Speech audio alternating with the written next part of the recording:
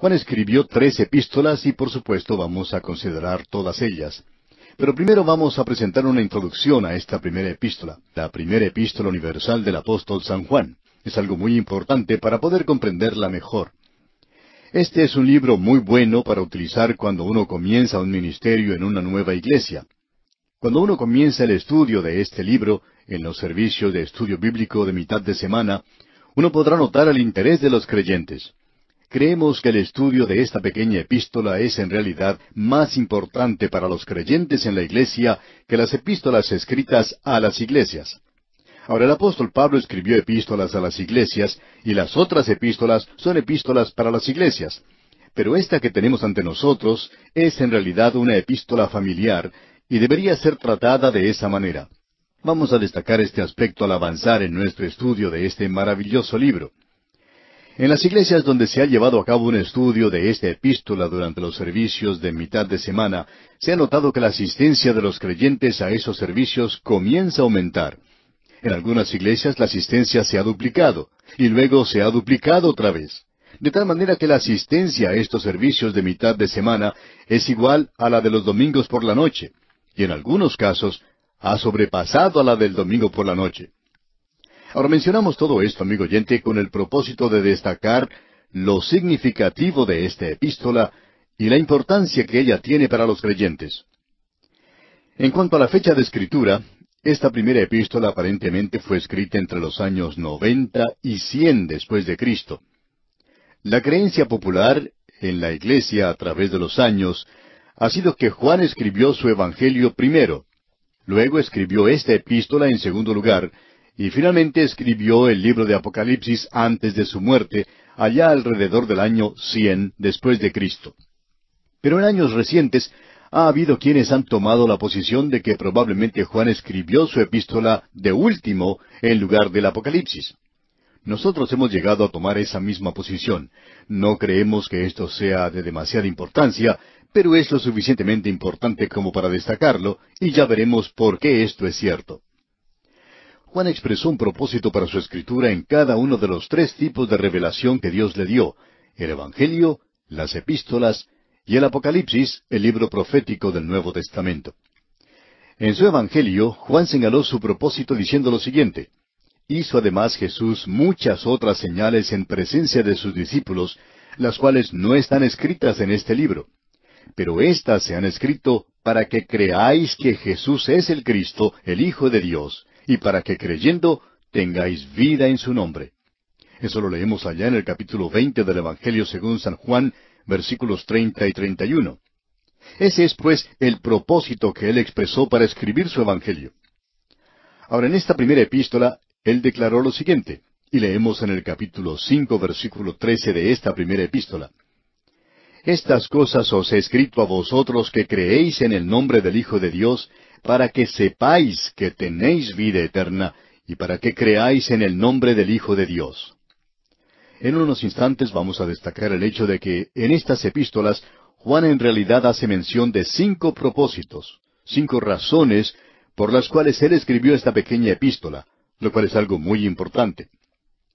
En el libro de Apocalipsis capítulo uno versículo 19, él declara su propósito para escribir ese libro. Dice, Escribe las cosas que has visto, o sea, el pasado, y las que son, es decir, el presente, y las que han de ser después de estas. Eso sería algo definitivamente profético. Ahora, como dijimos hace un momento, hay un propósito quíntuple que Juan ha expresado para escribir su primera carta. Eso hace que este libro sea muy significativo, por cierto. Vamos a mencionar estos propósitos por ahora y regresaremos a ellos más tarde. En el primer capítulo, versículo tres de esta primera epístola, Juan dice, para que también vosotros tengáis comunión con nosotros, es decir, con los creyentes. Y nuestra comunión verdaderamente es con el Padre y con su Hijo Jesucristo. El propósito de esta carta es que nosotros podamos tener comunión juntos. Ahora, el segundo propósito lo encontramos en el versículo cuatro del primer capítulo. Dice, para que vuestro gozo sea cumplido. Luego el tercer propósito es mencionado en el capítulo dos, versículo uno, para que no peguéis. El cuarto propósito lo encontramos en el capítulo cinco, versículo trece, donde dice, para que sepáis que tenéis vida eterna. Y luego, la quinta razón o el quinto propósito es expresado en el mismo versículo trece que dice, para que creáis en el nombre del Hijo de Dios. Así es que tiene un mensaje del Evangelio que da vida eterna y certeza al creyente. A esto deberíamos agregar el propósito general, que es el de presentar al Señor Jesucristo. Ese es el propósito de esta epístola. En la Biblia deberíamos escribir sobre el encabezamiento de esta carta la siguiente declaración bíblica. Morando en el lugar secreto del Altísimo. Usted descubrirá, al entrar en esta carta, que él habla mucho aquí en cuanto a la familia de Dios, y eso es algo realmente maravilloso. Esta epístola ha sido llamada el Sanctum Sanctorium del Nuevo Testamento. Toma al Hijo de Dios y lo lleva a través del umbral a la comunión de la casa del Padre. Es una epístola familiar. Juan está escribiendo aquí a la familia de Dios, a los creyentes. La palabra Padre se refiere a Dios y ocurre trece veces. La palabra hijitos se utiliza once veces. Pablo escribió a la iglesia, Juan escribió a la familia. La iglesia es un cuerpo de creyentes en la posición donde somos bendecidos con toda clase de bendición espiritual en los lugares celestiales. Se nos da esa posición cuando creemos en el Señor Jesucristo. Eso también nos lleva a la familia de Dios. Y en la familia, nosotros tenemos una relación que puede ser rota, pero que puede ser restaurada cuando nosotros confesamos nuestros pecados. Se nos dice que Él es fiel y justo para perdonar nuestros pecados y limpiarnos de toda maldad. Él aquí está hablando a sus hijitos. Amigo oyente, el pecado en la primera epístola del apóstol Juan es un asunto familiar. Es algo que tiene que ver con la relación con el Padre. Es algo que ha ofendido a alguien que le ama y tiene que ser tratado de esa manera. En las notas que enviamos a nuestros oyentes tenemos un pequeño gráfico tenemos un círculo interior, un círculo que es llamado el cuerpo, el cuerpo de los creyentes. Luego tenemos otro círculo un poco más amplio, que es llamado la familia de Dios. Y después tenemos uno más grande aún, que rodea todo esto, y ese es el reino de los cielos o el reino de Dios. El cuerpo de los creyentes que constituyen la iglesia se encuentra en la familia de Dios, aunque la familia es más grande que la iglesia. La iglesia y la familia Ambas son del reino de Dios, pero no son términos sinónimos. Podrían serlo bajo ciertas circunstancias, como veremos. Ahora, en esta epístola tenemos tres definiciones de Dios. Así es como hemos dividido a la epístola. Dios es vida. Esto lo vemos en el capítulo uno hasta el capítulo dos, versículo dos. Y la palabra vida se utiliza seis veces en esta carta. La segunda definición que tenemos es Dios es amor. Eso comienza en el versículo tres del capítulo dos y sigue hasta el capítulo cuatro, versículo veintiuno. Y la palabra amor se utiliza treinta y tres veces en esta epístola. Luego la tercera definición de Dios es Dios es luz. Eso lo vemos en el capítulo cinco. Y esa palabra o expresión es utilizada quince veces en esta carta. La palabra comunión se utiliza cuatro veces y la palabra conocer o saber y ya vimos cómo era enfatizado eso allá en la segunda epístola del apóstol Pedro. Esta palabra, pues, es utilizada treinta y ocho veces en esta primera epístola del apóstol Juan. Juan escribió esto para enfrentarse a la primera herejía que había entrado a la iglesia. Era un gnosticismo que se jactaba de un conocimiento superior. Aceptaba la deidad de Jesucristo, pero negaba su humanidad. Juan nos da el verdadero conocimiento de Dios. Y queremos decir una palabra en cuanto a los gnósticos al avanzar en esta carta. Ahora primero queremos tomar el prólogo. Lo tenemos en los primeros cuatro versículos. Lo hemos dividido de la siguiente manera. En los primeros dos versículos tenemos un prólogo. Y luego tenemos cómo los hijitos pueden tener comunión con Dios. Eso comienza con el versículo tres y continúa hasta el capítulo dos, versículo dos. Luego vamos a tratar con esto en base al bosquejo que hemos dado pero debemos considerar primero los cuatro primeros versículos, que son algo así como una disertación antepuesta al cuerpo de este libro. Ahora, en el versículo primero del primer capítulo de esta epístola dice Juan, Lo que era desde el principio, lo que hemos oído, lo que hemos visto con nuestros ojos, lo que hemos contemplado y palparon nuestras manos tocante al verbo de vida. Juan está diciendo aquí lo que era desde el principio. Ahora, ¿de qué principio está hablando Juan? Bueno, en las Escrituras tenemos tres principios. Dos de ellos son bien conocidos para nosotros. Uno se encuentra ya en el capítulo uno de Génesis, versículo uno. Dice, En el principio creó Dios los cielos y la tierra. Ese es un principio que no tiene fecha. No sabemos cuándo ocurrió eso, ni siquiera tenemos la más mínima idea. Y si uno pudiera leer todos los libros que se han escrito en cuanto a lo que dice Génesis capítulo uno versículo uno y a todo el capítulo primero de Génesis, creemos que los podríamos apilar hasta el techo de la habitación y ni aun así podríamos comprender realmente lo que se enseña allí, ya que ninguno de los escritores de esos libros tienen una idea de cómo comenzó esto que se menciona allí en Génesis capítulo uno versículo uno. Hay algunos creyentes científicos que toman el punto de vista que ellos llaman el punto de vista de la nueva tierra. Es decir, que usted y yo estamos viviendo actualmente en una tierra que no es tan antigua como se dice que puede ser. Hace algunos años atrás se afirmaba que la tierra era de unos cientos miles de años. Algunos decían que eran unos trescientos mil años, otros seiscientos mil y otros hasta setecientos mil años. Luego comenzaron a hablar en términos de millones de años. Más adelante se decía que eran mil millones de años y luego que dos mil millones, y se sigue aumentando esto, y la Tierra ha envejecido muy pronto, por cierto, mucho más rápido de lo que hemos envejecido nosotros. Ahora se dice que la Tierra puede tener unos dos millones quinientos mil años. Y quién sabe si seguirán aumentando esta cantidad hasta llegar a los mil millones otra vez. Esa es una dirección. Ahora hay otros que se están dirigiendo en la dirección opuesta.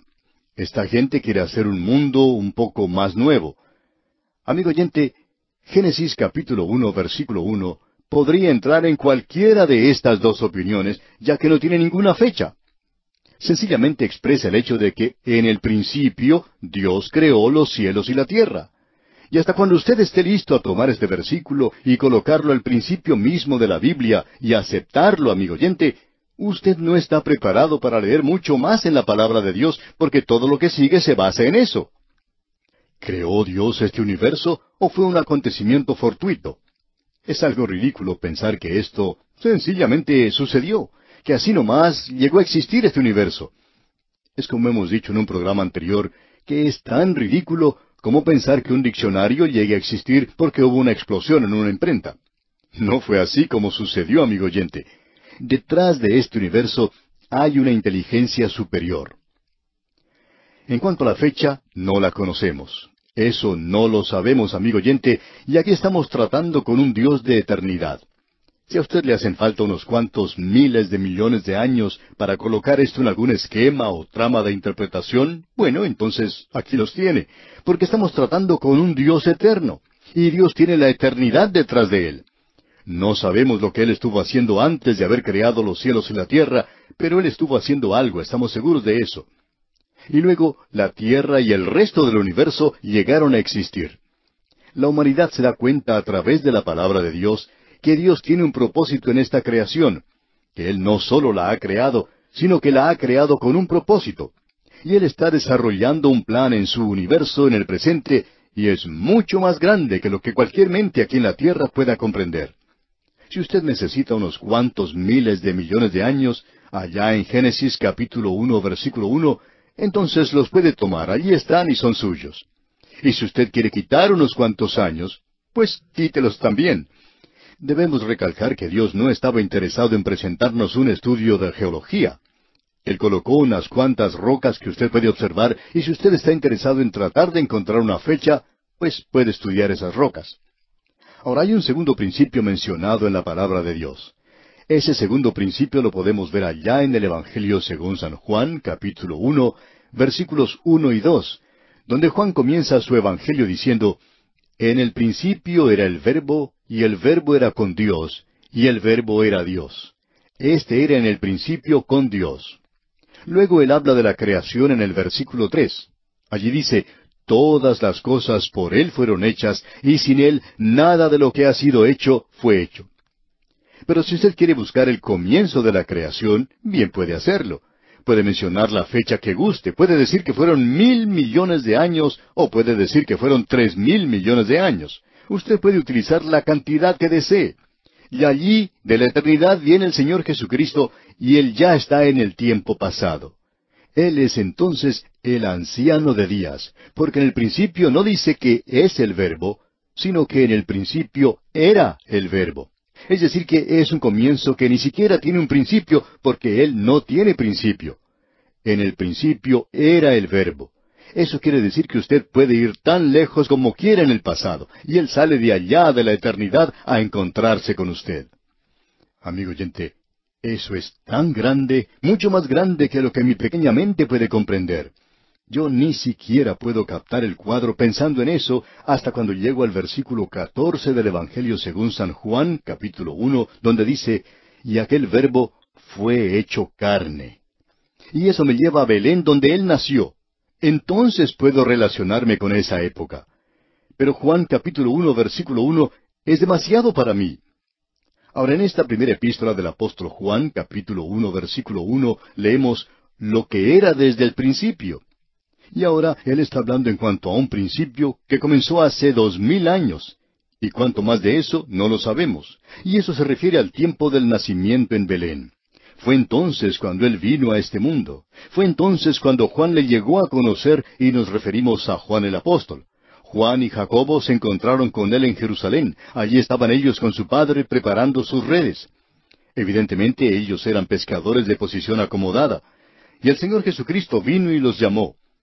Y luego Juan dice, permítame decirle que nosotros le escuchamos a Él. Y en efecto, Él menciona aquí cuatro cosas. Él dice, lo que era desde el principio, lo que hemos oído, es decir, por el sentido del oído. Lo que hemos visto con nuestros ojos, o sea que era un testigo presencial, algo que había visto con sus propios ojos, y la mayoría de nosotros nos enteramos de esto sencillamente por el oído. Pero Juan dice, nosotros le hemos oído, le hemos visto. Y luego dice, lo que hemos contemplado. Él utiliza esta palabra aquí que expresa contemplar. Proviene de la palabra teazón. De allí proviene la palabra teatro. Y nos indica mirar fijamente, contemplar. Eso es lo que quiere decir cuando expresa contemplamos su gloria, gloria como del unigénito del Padre. Alguien ha dicho, la mirada salva, pero la contemplación santifica. Juan dice que por tres años ellos le contemplaron. Fue Juan quien escribió, y como Moisés levantó la serpiente en el desierto, y la gente tenía que mirar a esa serpiente. Y Juan está diciendo aquí, el Señor Jesucristo dijo, así es necesario que el Hijo del Hombre sea levantado, para que todo aquel que en él cree no se pierda, mas tenga vida eterna. Una mirada de salvación, y si usted, amigo oyente, va a conocerle a Él, entonces usted tiene que contemplarle. Y eso es lo que santifica. Luego Juan dice, y palparon nuestras manos. Eso quiere decir que ellos le tocaron. Y él dice, tocante al verbo de vida. Él va a identificar al verbo de vida. Esto nos entusiasma mucho y nuestras mentes pueden salir de esta pequeña tierra hacia la eternidad. Y eso sucede cuando comenzamos a observar esta introducción. En el primer versículo del primer capítulo entramos a una sección que hemos titulado Dios es luz. Eso cubre el primer capítulo hasta el versículo dos del capítulo dos. Estamos aquí en la sección que hemos llamado el prólogo. Y vamos a leer otra vez hoy el primer versículo de este capítulo uno de la primera epístola universal del apóstol Juan.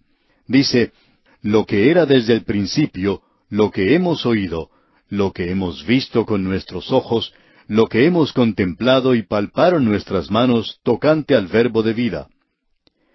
El principio al cual Juan se está refiriendo aquí es la encarnación, cuando el verbo se hizo carne. Él está hablando del Señor Jesucristo, por supuesto, cuando Él vino a esta tierra. Luego Él dice, lo que hemos oído. Juan aquí no está hablando en cuanto a su propia opinión o a su propia especulación. Él está hablando aquí en cuanto a algo que en realidad sucedió, que él escuchó al Señor Jesucristo y que cuando él escuchó al Señor Jesucristo, él escuchó a Dios. Él está hablando al hombre y esto es Dios hablando al hombre. Él dice que no solo le había oído, sino que le había visto con sus propios ojos, que le había contemplado. No podemos verle con nuestros propios ojos como lo hizo Juan, eso es cierto, pero aún así podemos verle por medio del ojo de la fe. Pedro nos dice, a quien no habiendo visto, amáis. Y el Señor Jesucristo hablando a Tomás después de su resurrección, y sabemos que Tomás no quería creer que el Señor Jesucristo había resucitado hasta cuando él pudiera tocarlo, el Señor Jesucristo le dijo, Porque me has visto, Tomás, creíste. Bienaventurados los que no vieron y creyeron. Nosotros estamos andando hoy por fe, y podemos hoy tener a un Señor Jesucristo tan real como el que tuvo Tomás. Alguien lo expresó de la siguiente manera y cálido, dulce, tierno, y aún así una ayuda presente es Él. Y la fe aún tiene su monte de las olivas, y el amor su Galilea. Nosotros le hemos visto con los ojos de la fe. Ahora Juan dice luego, lo que hemos contemplado. Y como dijimos en nuestro programa anterior, esta palabra viene de theastra, de donde proviene nuestra palabra teatro, un lugar donde uno va a observar, a contemplar algo. No es una mirada pasajera, sino que es algo que uno contempla detenidamente. Y eso es lo que quiere decir esta palabra aquí. Juan dijo, contemplamos su gloria, la gloria del unigénito del Padre. Y como dijimos en nuestro programa anterior, la mirada salva, pero la contemplación santifica.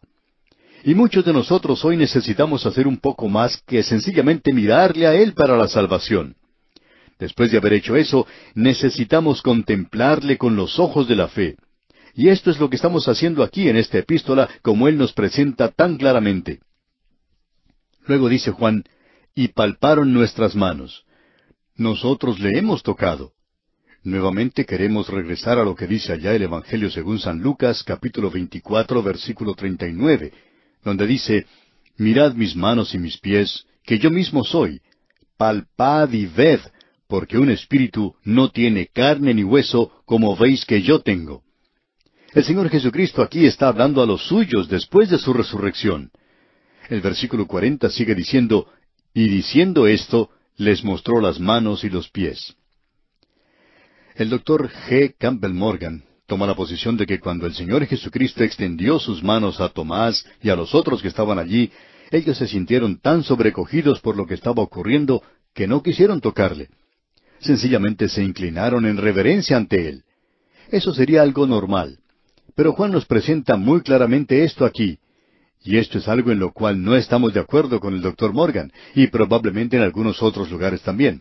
Pero este es uno de los puntos en el que estamos seguros, ya que no quisiéramos estar en desacuerdo con una persona de su calibre, a no ser que haya razón para ello.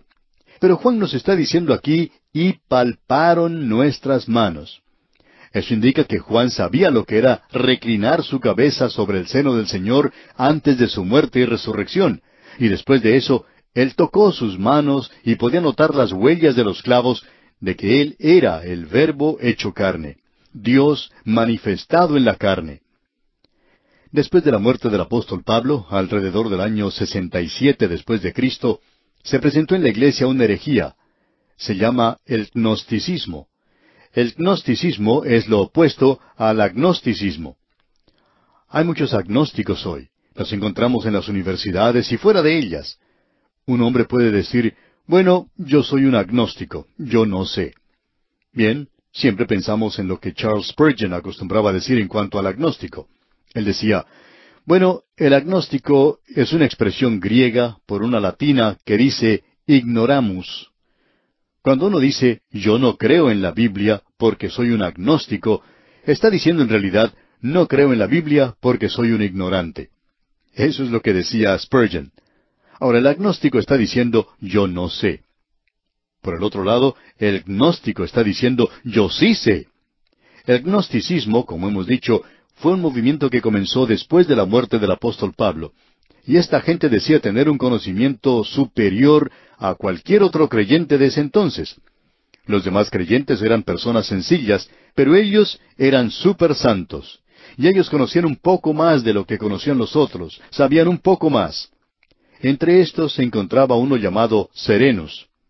Y la tradición dice que entre ellos también había un hombre llamado Serentes, y que en cierta ocasión Juan fue a uno de esos baños públicos que había en la ciudad de Éfeso y que allí se encontraba serentes en el agua, y que cuando Juan vio que él estaba allí, tomó sus ropas, se vistió rápidamente y salió de ese lugar, porque no quería tomar un baño cerca de ese hereje, cerca de ese gnóstico.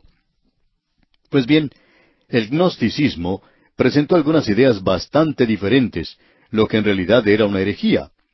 Una de las cosas que ellos decían era que en realidad el Señor Jesucristo era nada más que un hombre, que él había nacido como cualquier otro hombre y que no había ninguna diferencia, pero que en su bautismo el Cristo bajó sobre él, y que luego a su muerte, es decir, cuando él fue clavado en la cruz, el Cristo le dejó. Esta era su interpretación. Ahora, así no es lo que Juan nos dice. El verbo fue hecho carne. Es decir, que Juan nos presenta claramente en su Evangelio y aquí también en esta epístola, y palparon nuestras manos tocante al verbo de vida. Él está indicando que ellos le palparon a él después de que había regresado de entre los muertos y aún era un ser humano, que aún tenía carne y hueso. Juan dice, y palparon nuestras manos. Juan está diciendo aquí que él no está hablando en cuanto a algo teórico, que no está hablando en cuanto a algo que él oyó, sino que él dice aquí que esto es algo que él conocía y que quería compartir con usted. Él quería que usted conociera lo que él conocía. Y en el versículo dos continúa diciendo Juan, porque la vida fue manifestada y la hemos visto y testificamos y os anunciamos la vida eterna, la cual estaba con el Padre y se nos manifestó. Una de las personas que se quieren pasar por demasiado inteligentes se presentó en cierta ocasión ante un pastor de una iglesia después de su mensaje y le dijo, Usted ha hablado en cuanto a la vida eterna. ¿Qué es la vida eterna? Yo quisiera saber lo que es la vida eterna. Y el pastor le contestó mencionando este versículo, diciendo que Juan decía, Porque la vida fue manifestada y la hemos visto, y testificamos, y os anunciamos la vida eterna, la cual estaba con el Padre y se nos manifestó. Entonces el pastor le dijo, La vida eterna de la cual habla Juan es el verbo de vida, y no es ningún otro sino el mismo Señor Jesucristo, el Hijo de Dios, como se nos dice en el siguiente versículo. Y si usted quiere saber más en cuanto a la vida eterna, si usted quiere una definición, la vida eterna es una persona, y esa persona es Cristo. Esto es algo sencillo que cualquiera, aún usted puede comprender. Usted o tiene a Cristo o no tiene a Cristo. Usted confía en Cristo o no confía en Cristo. Y si usted confía en Cristo, entonces tiene vida eterna. Y si usted no confía en Cristo, pues usted no tiene vida eterna. Eso es la vida eterna. ¿Tiene usted la vida eterna? Y este hombre tuvo que volverse y salir de ese lugar sin dar una respuesta, y por su reacción el pastor se dio cuenta que eso era evidencia de que él no tenía vida eterna y que él no quería estudiar este asunto más profundamente. Él no quería ser obligado a tomar una decisión por Cristo. Ahora Juan va a decir algo aquí que es realmente maravilloso. Y esto es que usted y yo podemos tener hoy comunión con Dios. Hay la posibilidad de que un hombre tenga comunión con Dios. Y esa es una de las perspectivas más gloriosas que se nos ha presentado, el que usted y yo podamos tener comunión con Dios. Ahora en el versículo tres leemos, Lo que hemos visto y oído, eso os anunciamos, para que también vosotros tengáis comunión con nosotros. Y nuestra comunión verdaderamente es con el Padre y con su Hijo Jesucristo. Esta es la tercera vez que Juan nos dice esto, y esperamos que ya se haya infiltrado en usted, que lo que hemos visto y oído, eso os anunciamos. ¿Por qué nos está diciendo esto Juan? Para que también vosotros tengáis comunión con nosotros. Los creyentes pueden tener comunión unos con otros. Verdaderamente nuestra comunión es con el Padre y con su Hijo Jesucristo. Ahora, ¿cómo vamos a tener comunión con Dios? Bueno, la única forma en que podemos tener comunión con Dios es llegando a conocer a Jesucristo. Esa es la única manera de lograrla. Y esto nos presenta un dilema. Dios es santo. El hombre no lo es. Nosotros no somos personas santas. ¿Y cómo podemos tener entonces un puente sobre este vacío? ¿Cómo puede uno reunir a Dios y al hombre? O como vimos en Amós, ¿cómo pueden dos andar juntos si no se han puesto de acuerdo? ¿Cómo podemos tener comunión? Bueno, para superar este obstáculo imposible, Juan nos va a presentar tres métodos. Dos de ellos son métodos creados por el hombre y no dan resultado. Solo uno dará resultado y ese será el método de Dios. Vamos a ver esto. Pero antes de entrar en esto, permítanos decir algo en cuanto a esta palabra comunión. Ya hemos hablado anteriormente en cuanto a esta palabra porque es una palabra muy importante. Comunión. ¿Qué es comunión? Bueno, es la palabra griega koinonía. Y eso quiere decir algo que uno tiene en común, es decir, aquello que uno puede compartir. Para un creyente esto quiere decir que si nosotros vamos a tener comunión con Juan, si nosotros vamos a tener comunión uno con el otro, si usted y yo vamos a tener comunión por medio de la radio, quiere decir que vamos a tener que compartir las cosas de Cristo. Y esa es la única manera en que usted puede tener comunión. Eso nos da a entender que usted y yo tenemos que conocer al Señor Jesucristo. Esto no es solamente conocer algo en cuanto a Él, sino que debemos conocerle a Él personalmente como nuestro Salvador personal. Ahora, ¿qué es esto llamado comunión? Bueno, permítame contarle una historia. Esta palabra se ha abusado mucho y solamente quiere decir ahora el ir a cenar juntos o a un banquete en la iglesia o darle palmaditas a uno en la espalda y preguntarle cómo se siente. Pero amigo oyente, eso no es comunión. En algunos lugares hay clubes que se reúnen para, según ellos, tener comunión. En su mayoría lo forman hombres de negocios que se reúnen una vez por mes, invitan a algún orador y tienen una comida. A veces la comida no es muy buena, pero ellos dicen que se reúnen allí para pasar un buen rato, aunque la comida no sea muy apetecible. A veces invitan a un predicador para disertar durante ese banquete, pero como la gente solo quiere pasar un buen rato, ya sean creyentes o no lo sean, el predicador entonces no es muy popular. Esta gente no quiere en realidad oír la palabra de Dios. En algunos de estos lugares, el énfasis es indicado por un lema que dice comida, diversión, comunión.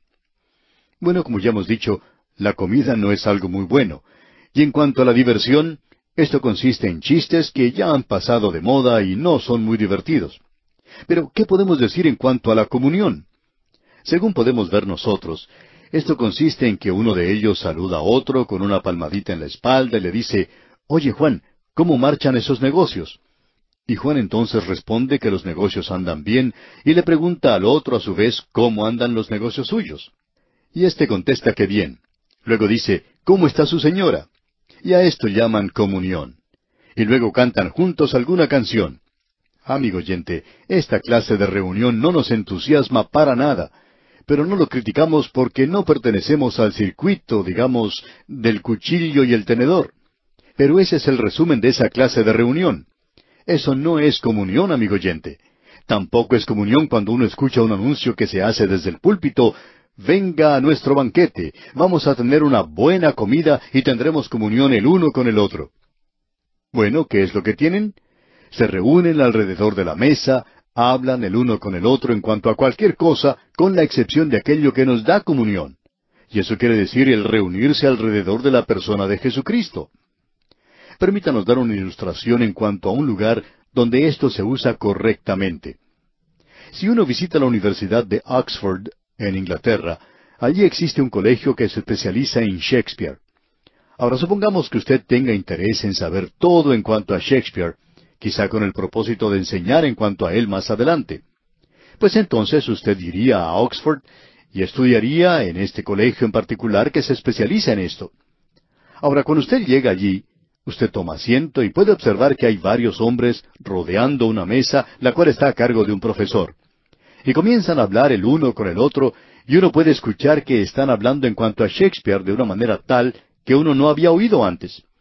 Por ejemplo, uno piensa que en la historia de Romeo y Julieta, que ella era la única muchacha con la cual él había salido, ya que Romeo había expresado en una ocasión que el sol nunca había contemplado a alguien como ella desde el principio del mundo.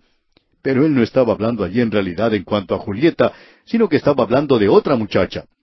Entonces uno pensaría, bueno, parece que hay mucho que aprender de la vida y escritos de Shakespeare, y yo no lo sé. Así es que usted comenzaría entonces a estudiar y sacaría libros de la biblioteca y atendería las clases, y después de haber pasado allí algún tiempo, quizá un par de años, se le nombra miembro de ese grupo, y entonces puede sentarse a la mesa con ellos y hablar en relación a los sonetos de Shakespeare. Y entonces usted puede compartir con ellos mano a mano su conocimiento porque usted ya ha leído todo eso y conoce muy bien a ese escritor. Así puede tener comunión con ellos.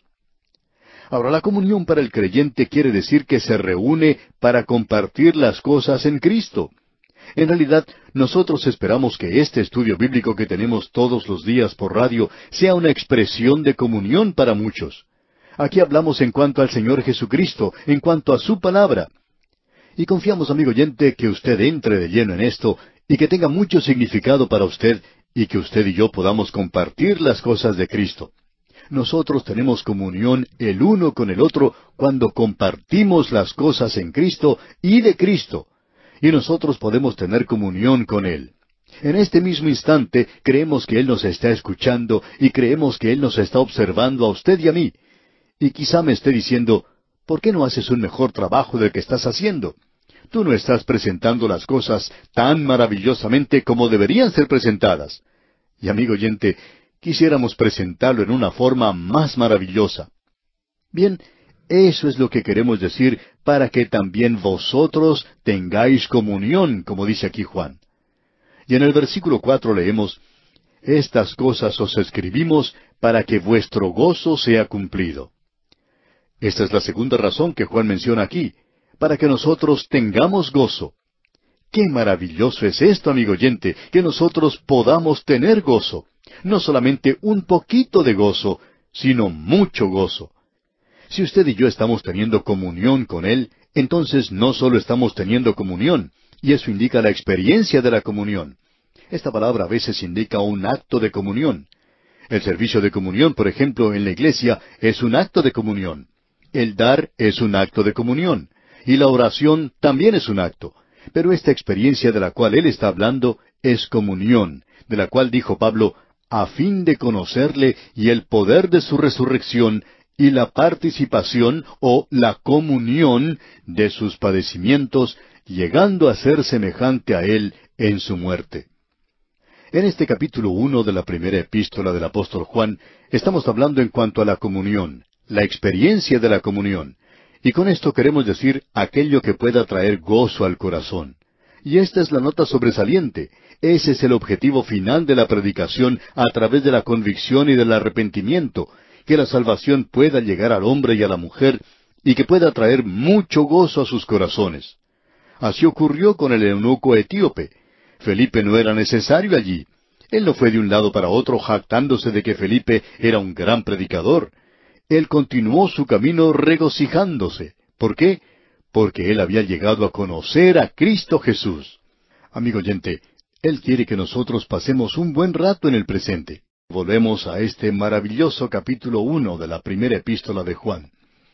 Usted ya habrá descubierto que es muy similar en su lenguaje sencillo al Evangelio según San Juan y que al leerlo uno piensa que quizá está sacando todo lo que tiene que decir este libro. Pero cuando uno comienza a entrar más a fondo en lo que aquí se dice, descubre que aquí se está tratando con aquello que es muy profundo y que sólo el Espíritu de Dios puede hacer estas cosas reales para nosotros. Ya hemos visto en esta epístola que el apóstol Juan dice que él fue un testigo del Señor Jesús. Él le había oído, él le había visto, él le había contemplado por tres años. Y luego él también pudo palparle, y se dio cuenta que el Señor era de carne y hueso. Y luego, después de su resurrección, también el Señor era de carne y hueso. Juan está diciendo aquí que él sabía que era un ser humano, que también sabía que él era Dios. Juan nos dice aquí, les estoy escribiendo estas cosas para que también vosotros tengáis comunión con nosotros, y nuestra comunión verdaderamente es con el Padre y con su Hijo Jesucristo. El propósito de esta epístola, amigo oyente, es que usted y yo podamos tener comunión, podamos compartir juntos estas cosas y que el Espíritu de Dios pueda hacerlas reales para nosotros, el Señor Jesús, Dios el Padre, de tal manera que nuestra comunión pueda ser verdaderamente hermosa, dulce, maravillosa y llena de amor. No obstante, se nos presenta un verdadero problema aquí. Juan ya ha dicho que esto ha sido escrito para que nosotros podamos tener comunión y para que nuestro gozo sea cumplido. Y nuestro gozo sería naturalmente cumplido si pudiéramos tener comunión, compartiendo las cosas de Cristo. Pero aquí tenemos un obstáculo que superar. Juan se enfrenta a un verdadero dilema. Cada hijo de Dios reconoce esto, que Dios es santo. La misma posibilidad del hombre de tener comunión con Dios es una de las más gloriosas perspectivas que tiene el ser humano. Pero inmediatamente nuestras esperanzas se estrellan contra las rocas cuando nos enfrentamos a este dilema. Y el dilema es este que vamos a leer aquí en el versículo cinco. Este es el mensaje que hemos oído de Él y os anunciamos. Dios es luz, y no hay ningunas tinieblas en Él. Eso nos indica que Dios es santo y nosotros sabemos que el hombre no lo es. ¿Cómo puede entonces superarse este precipicio que se encuentra entre un Dios santo, un maravilloso Salvador, y nosotros? Porque este puente que debe unir esos dos lados tiene que ser un puente bastante largo. Tiene que colocarse, como dijimos, sobre un precipicio muy profundo. ¿Qué diferencia la que hay aquí? ¿Cómo podemos traer a Dios y al hombre y unirlos? Ese fue el clamor expresado por Job en el capítulo nueve, versículos treinta y dos y treinta y tres. Porque no es hombre como yo, para que yo le responda y vengamos juntamente a juicio. No hay entre nosotros árbitro que ponga su mano sobre nosotros dos. Amós dijo en el capítulo tres, versículo tres de su libro, ¿Andarán dos juntos si no estuvieren de acuerdo? Y a través del profeta Isaías, Dios dice en el capítulo cincuenta y cinco, versículos ocho y nueve de su libro, porque mis pensamientos no son vuestros pensamientos, ni vuestros caminos mis caminos. Como son más altos los cielos que la tierra, así son mis caminos más altos que vuestros caminos, y mis pensamientos más que vuestros pensamientos. Así es que nos preguntamos, ¿cómo puede el hombre pecador andar con Dios? Dios es luz, y Juan quiere indicar eso aquí al mismo comienzo. Él presenta este gran axioma que es en realidad una definición de Dios. Y nosotros hemos dividido esta epístola según las tres definiciones que se nos presenta aquí. En primer lugar, tenemos que Dios es vida. Luego tenemos que Dios es amor. Y en tercer lugar tenemos que Dios es luz. Y estas tres cosas se presentan en esta epístola. Ahora, ¿cómo podemos nosotros tener comunión con Dios? Parecería que vamos a tener que hacer una de estas dos cosas. O traemos o bajamos a Dios a nuestro nivel, o tenemos que elevar al hombre al nivel de Dios. Pero no podemos hacer ninguna de esas dos cosas. Sin embargo, los hombres han tratado de hacerlo. Y el apóstol Juan demuestra aquí la imposibilidad de hacerlo primero. Así es que él presenta este gran axioma o definición. Dios es luz. Es una luz pura. Se nos dice que la ciencia en el día de hoy no está muy segura en cuanto a lo que es la luz. ¿Es nada más que una energía? ¿O es realmente algo? ¿Es materia? ¿Qué es la luz? La fuente de la luz es una cosa. Usted puede encender la luz en su habitación. Antes había tinieblas en un rincón, pero ahora hay luz. ¿Qué es lo que ha sucedido? ¿Qué fue lo que se dirigió a ese rincón y expulsó, por así decirlo, a las tinieblas? ¿O fueron realmente expulsadas de allí las tinieblas? Porque cuando esa fuente de luz se apaga, usted puede ver que está otra vez oscuro en ese rincón. ¿Qué es la luz? Bueno, cuando Juan dice que Dios es luz, eso revela muchas facetas en cuanto a la persona de Dios.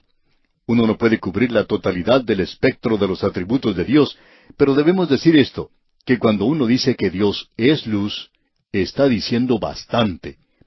En primer lugar, la luz habla de gloria, de resplandor, de belleza, de las maravillas de Dios.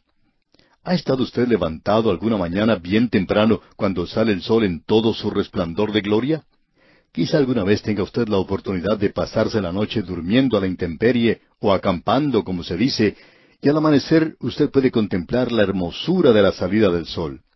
Si se encuentra en una zona montañosa, puede ver cuando el sol aparece detrás de una montaña y lo ilumina todo, dándole el brillo a un nuevo día. Alguien expresó en las siguientes palabras la emoción que él sentía al contemplar un amanecer, y dijo, Estoy observando a Dios creando un nuevo día. ¿Y qué emoción es la de estar allí y contemplar a Dios creando un nuevo día? Ese resplandor, esa luminosidad. Dios es luz. Unos momentos antes todo era tinieblas, pero de pronto aparece el sol en el horizonte y se nos presenta en un resplandor de gloria. Ahora hay otra cosa en cuanto a la luz. La luz se revela a sí misma. La luz puede verse, pero se difunde a sí misma. Ilumina las tinieblas, se revela a sí misma. Permite que yo vea mis manos y si yo he estado haciendo algún trabajo que las ensucia, puedo mirarlas y saber que necesito lavarme las manos. Pero si no hubiera tenido luz, entonces no hubiera podido ver eso. Así es que la luz se revela a sí misma. Y luego, la luz revela los defectos y la impureza. Whittier expresó esto de la siguiente manera. Nuestros pensamientos están abiertos a tu mirada y desnudos ante tu vista. Nuestros pecados secretos se ven a la luz de tu semblante puro. Y como acostumbraba decir el doctor Schaeffer, ese pecado secreto aquí en la tierra es un escándalo abierto en el cielo, porque nuestros pecados están delante de Él, porque Dios es luz. Y luego también nos habla de la pureza de Dios, de una pureza blanca, de una santidad sin mancha de Dios. Dios se mueve sin hacer sombra. Él es luz, Él es puro. La luz del sol es en realidad la catarsis, es decir, la purificación de la tierra, y no solo nos provee luz, sino que también actúa como un gran limpiador. Muchas de las señoras que nos escuchan en este momento colocan la ropa al sol para que el sol la limpie, para quitarle algún mal olor, alguna mancha. El sol es un gran agente limpiador. Y esto nos habla de la pureza de Dios. Dios no hace una sombra. Ya hemos visto esto allá en el libro de Hebreos. Dios no proyecta una sombra. Luego tenemos otra cosa, la quinta cosa que queremos mencionar aquí. La luz guía a los hombres, señala el camino. La luz en el horizonte lleva a los hombres a animarse, a continuar marchando. Dios es luz. Vayamos ahora al otro extremo. Las tinieblas son en realidad más que una negación de la luz. En efecto, no solo es lo opuesto de la luz, sino que es algo hostil a la luz. Es la luz, la santidad de Dios, en oposición o en conflicto directo con el mal y con el caos del mundo. Se nos presenta ahora un dilema. Nosotros somos pequeñas criaturas aquí llenas de pecado. Amigo oyente, estamos depravados totalmente. Sin la gracia de Dios para la salvación, no seríamos otra cosa en el mundo sino una criatura que está en rebelión contra Dios y sin nada bueno en nosotros. Dios ha presentado esto de una manera muy clara, que Él no encuentra nada bueno en el hombre. El apóstol Pablo dice, Yo sé que en mí, esto es, en mi carne, no mora el bien. Y él también dice, No hay justo ni aun uno. No hay nadie que tenga una bondad innata, sino que todos están en rebelión contra Dios. Luego él continúa hablando, diciéndonos en cuanto a la rebelión que se encuentra en el corazón humano. Él dice allá en su epístola a los Romanos capítulo ocho versículo siete, por cuanto los designios de la carne son enemistad contra Dios, porque no se sujetan a la ley de Dios ni tampoco pueden. Así es que estamos viviendo en un mundo que se encuentra en rebelión contra el Dios Todopoderoso. Dios es santo, yo soy pecador, sí, salvo por gracia y ahora voy a tener comunión con Él. ¿Cómo voy a andar con Él? Bueno, los hombres han tratado de hacer esto en tres formas diferentes que se presentan aquí. Dos de ellas son equivocadas. El primer método es el de tratar de traer a Dios al nivel del hombre. Escuche lo que dice el versículo seis de este capítulo uno de la primera epístola del apóstol Juan. Si decimos que tenemos comunión con Él y andamos en tinieblas, mentimos y no practicamos la verdad. ¿Se da cuenta usted de lo que Juan está diciendo aquí? Él nos habla de una manera directa y dura, ¿no le parece? Él dice aquí que mentimos. No es algo muy amable llamar a otra persona mentirosa. Pero Juan dice, si decimos que tenemos comunión con Él y andamos en tinieblas, es decir, en pecado, mentimos. No somos nosotros quienes decimos eso. Nosotros no queremos ser ofensivos diciendo eso. Pero Juan lo dice. Amigo oyente, nosotros siempre pensamos de Juan como una persona mansa, tierna, delicada. En efecto, durante la Edad Media hubo un pintor que lo pintó con rizos en sus cabellos. No quisiera ser esa clase de artista por nada del mundo. Allí Juan aparece como si fuera un melenudo con rizos. La idea se propagó al llamarle el apóstol del amor.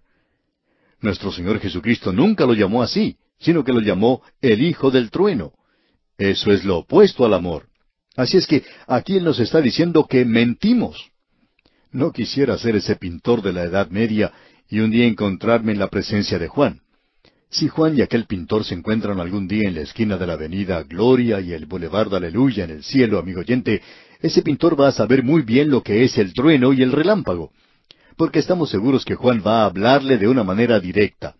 ¿De dónde salió esa idea de darle al mundo la impresión de que yo era un individuo cobarde y flojo? Amigo oyente, él era un pescador robusto y fuerte. Y él está diciendo aquí que si decimos que tenemos comunión con él y andamos en tinieblas, mentimos y no practicamos la verdad. Porque Dios es luz, Dios es santo.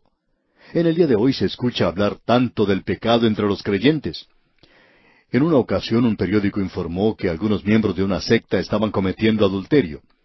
No sabemos si en realidad eso era un rumor o si era una información acertada, pero no creemos que el periódico se hubiera arriesgado a que esta gente entablara un juicio legal porque tenía base para decir lo que dijeron. Y los miembros de esa secta hablaban del maravilloso nivel de vida que habían obtenido. Ellos guardan la ley y cosas por el estilo, pero uno de los diez mandamientos dice, no cometerás adulterio. Por supuesto que ellos tratan de explicar eso. Amigo oyente, si usted va a andar con Dios, entonces va a andar en la luz. Y si hay algún pecado en su vida, entonces no está andando con Él. Alguien quizá diga, bueno, hay pecado en mi vida. Eso lo sabemos. Todos nosotros tenemos eso en nuestras vidas. ¿Y cómo vamos a andar con Dios? Bueno, eso vamos a verlo en la próxima oportunidad, pero usted no puede descubrir eso tratando de bajar a Dios a su propio nivel. El versículo siete de este capítulo uno de la primera epístola del apóstol Juan dice, Pero si andamos en luz, como Él está en luz, tenemos comunión unos con otros, y la sangre de Jesucristo su Hijo nos limpia de todo pecado. Esa luz significa la palabra de Dios, porque es allí donde nosotros tenemos la luz de Dios, en su palabra. Leamos una vez más el versículo siete. Pero si andamos en luz, como Él está en luz, tenemos comunión unos con otros, y la sangre de Jesucristo su Hijo nos limpia de todo pecado. Ahora aquí tenemos algo importante de notar. No es primordialmente cómo anda usted, es dónde camina, porque usted puede estar caminando en las tinieblas y pensar que está caminando bien y que no hay ningún problema. El doctor J. Vernon McGee, autor de estos estudios bíblicos, contaba que después de un servicio el domingo por la mañana, al comienzo de su ministerio como pastor, un médico se acercó a él y le preguntó si quería salir a cazar ardillas. Y el doctor McGee le contestó que le gustaría mucho hacer eso. Así es que este médico le trajo una escopeta y salieron juntos por la tarde y fueron a su finca y de allí salieron a cazar. Había dos colinas, una de un lado de la finca y la otra del otro lado, y tuvieron una buena cacería. Avanzando por el camino, llegaron a la división de una cañada, y ese médico le dijo al doctor Magui que él iba a ir por la derecha y que el doctor Magui fuera por la izquierda, y que luego se encontrarían nuevamente donde habían comenzado. Mientras tanto parecía que iba a llover. Ya había lloviznado una o dos veces y había escampado. Cuando se separaron, comenzó a lloviznar otra vez. El doctor Magui continuó avanzando y dio la vuelta alrededor de la colina. Mientras caminaba, notó que había algunas cuevas. Comenzó a llover un poco más fuerte, y el doctor Magui pensó que se iba a mojar y entonces, para evitar eso, se metió en una de esas cuevas, la más grande que pudo encontrar. Mientras estaba allí sentado en la oscuridad por unos treinta minutos, comenzó a sentir frío y entonces decidió encender una fogata. Así es que recogió algunas hojas, algunas ramas y encendió el fuego. Entonces miró a su alrededor para ver lo que había dentro de esa cueva y se dio cuenta que no estaba solo. Nunca se había encontrado en un lugar donde hubiera tantas arañas y lagartijas como las que había en esa cueva. Y en un rincón se encontraba una serpiente enroscada y lo estaba mirando. El doctor Magui, por supuesto, salió rápidamente de ese lugar, aunque todavía estaba lloviendo y se mojó bastante, pero no estaba dispuesto a regresar otra vez a esa cueva. El caso es que él se encontraba cómodamente sentado en esa cueva por treinta minutos cuando estaba en tinieblas. Pero cuando hubo luz, él pudo darse cuenta de lo que había allí. Él pudo mirar a su alrededor.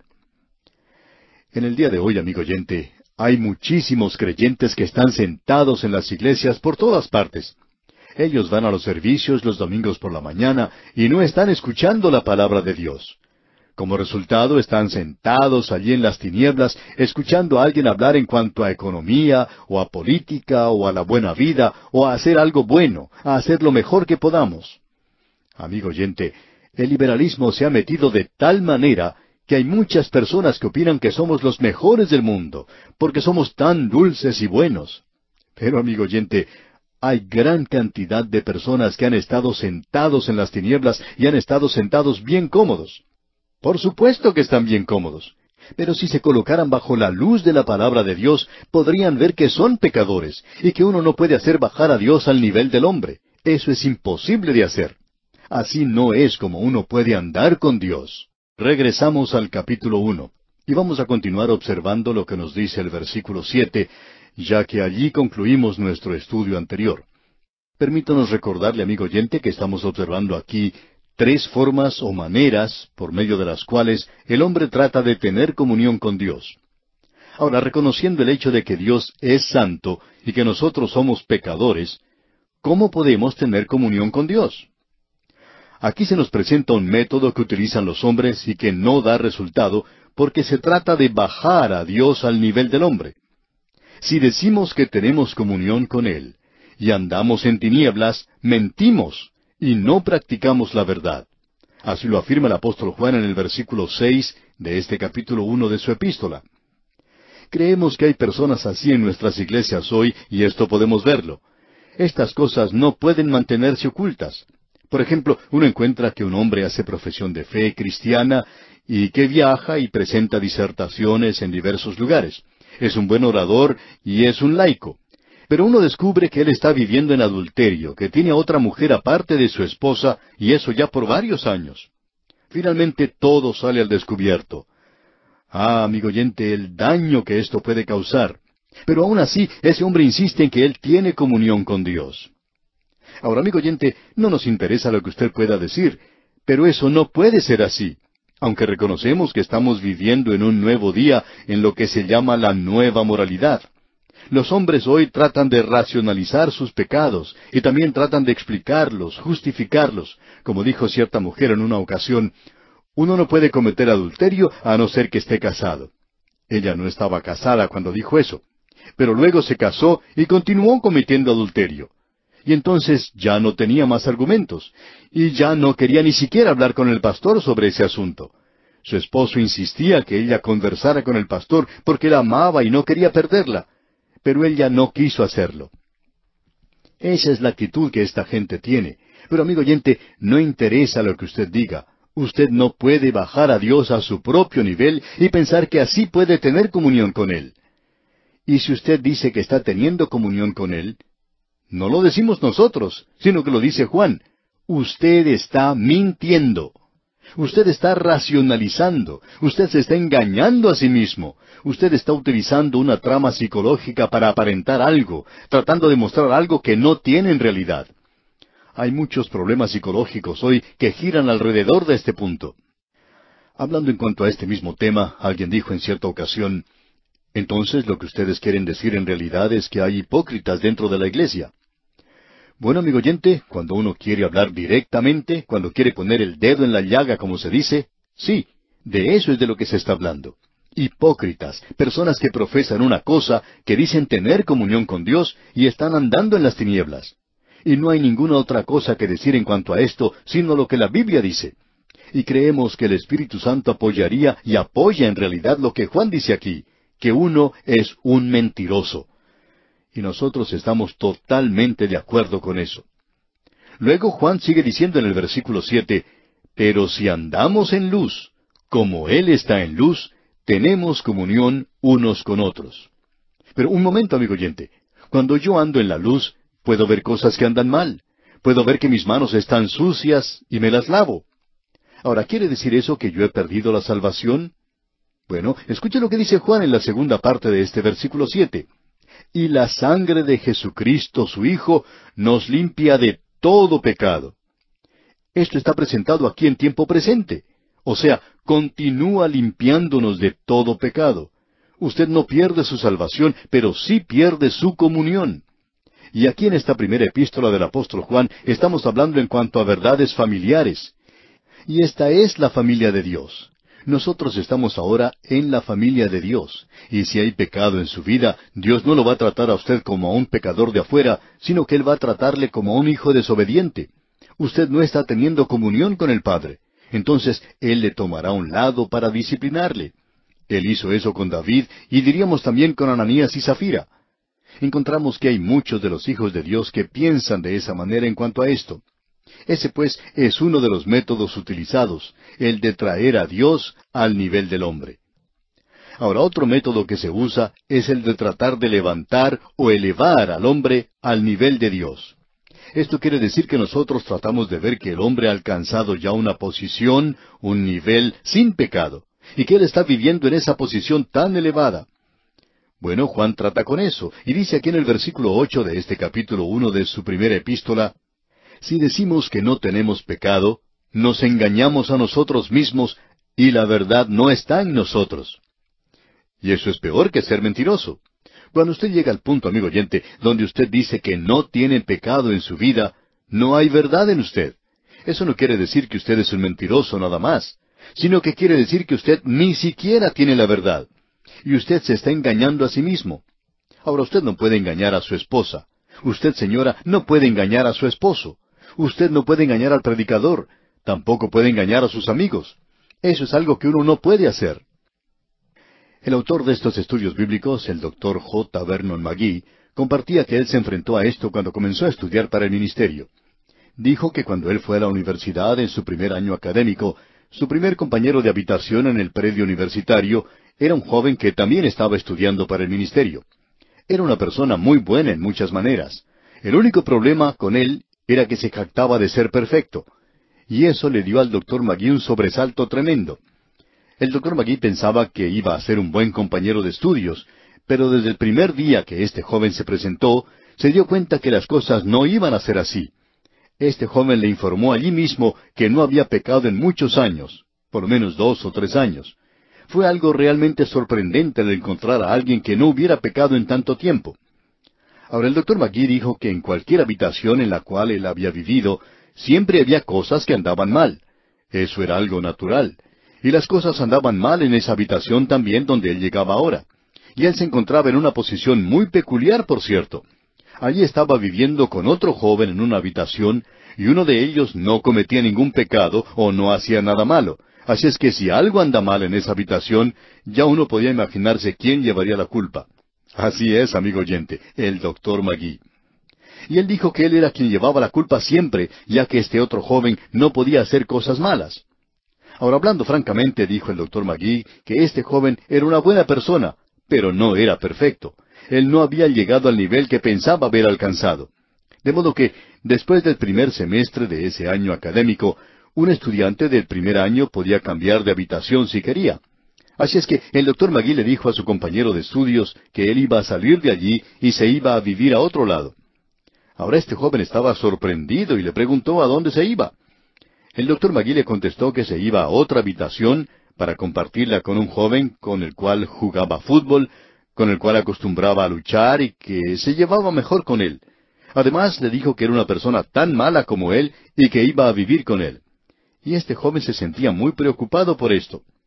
Bueno, el doctor Magui salió de esa habitación y este otro joven al parecer no consiguió a nadie que fuera a vivir con él en sus estudios académicos, mientras que con el otro joven el doctor Magui se llevaba muy bien, ya que hacía las mismas cosas, ya que ninguno de los dos era perfecto.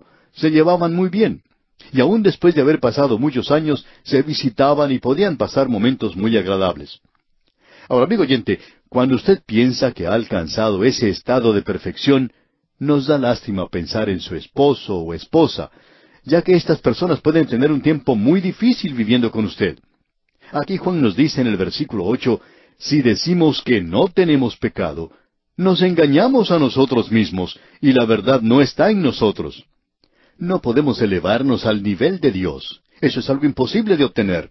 Usted no puede elevarse y decir que ha alcanzado la perfección. Hay muchas personas buenas que piensan que ellos han alcanzado ese nivel podemos presentar otro ejemplo para ilustrar esto que creemos es de suma importancia. Una vez más, el autor de estos estudios bíblicos, el doctor J. Vernon McGee, contaba que cuando él fue a vivir a la ciudad de Pasadena, en California, En ese lugar había un hombre que trabajaba como capellán en la cárcel. Él era un creyente maravilloso y muy entusiasta, por cierto. En cierta ocasión se encontraron en la calle y este hombre le contó al doctor Magui que ya había sido santificado. El doctor Magui le preguntó entonces cómo era que eso había ocurrido, y este hombre respondió, bueno, ahora he llegado al nivel donde ya no peco más. Bueno, le contestó el doctor Magui, por cierto que usted necesitaba alcanzar ese nivel, y me agrada saber que usted ha llegado a ese punto.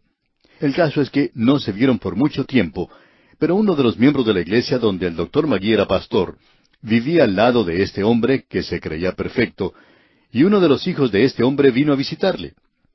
Era un joven que viajaba en una de esas casas rodantes.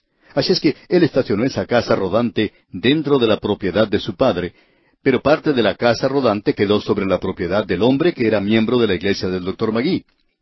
Bueno, este hombre no dijo nada por algún tiempo y parecía que este joven se iba a quedar allí por mucho tiempo.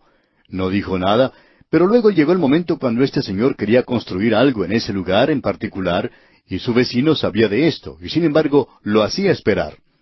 Finalmente este señor, que era miembro de la iglesia del doctor Magui, no pudo esperar más. Así es que se acercó a su vecino un día y le dijo que por favor quitara de allí esa casa rodante porque él quería construir algo.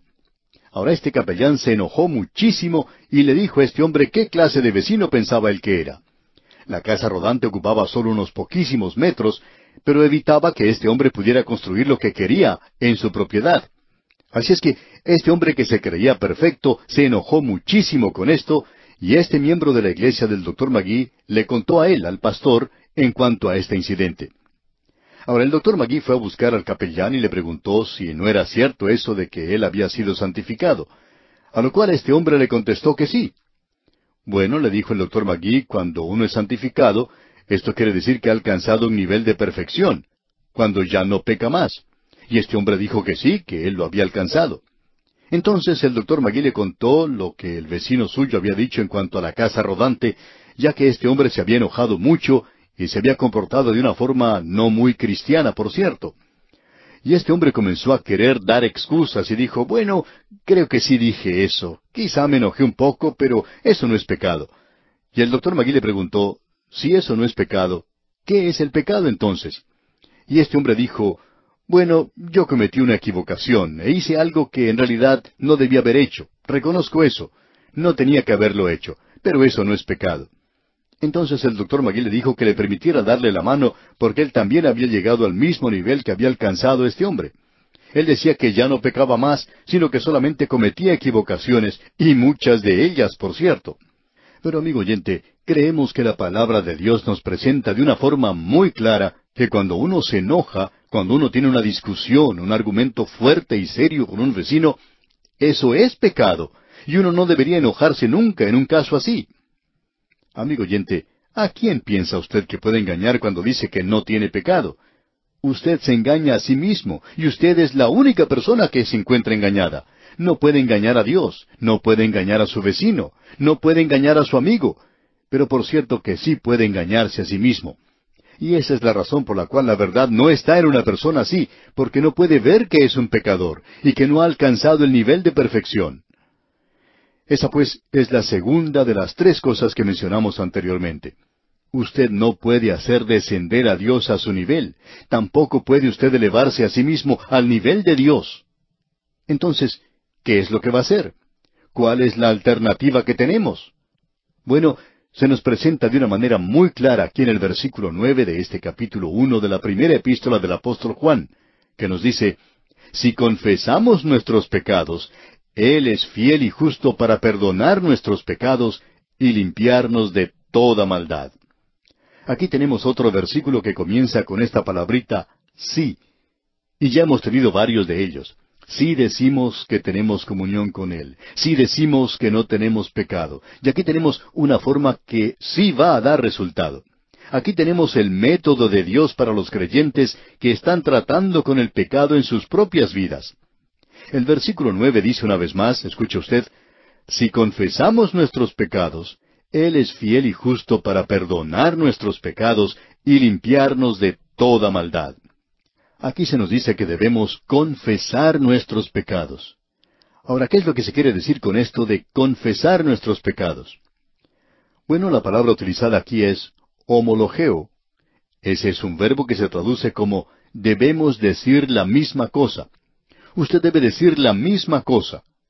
Ahora decir la misma cosa, ¿qué significa? Bueno, usted dice la misma cosa que Dios dice. Dios dice que lo que usted ha hecho es pecado, que es pecado y que lo que usted debe hacer es irse al lado de Dios ahora y observar aquello que ha hecho.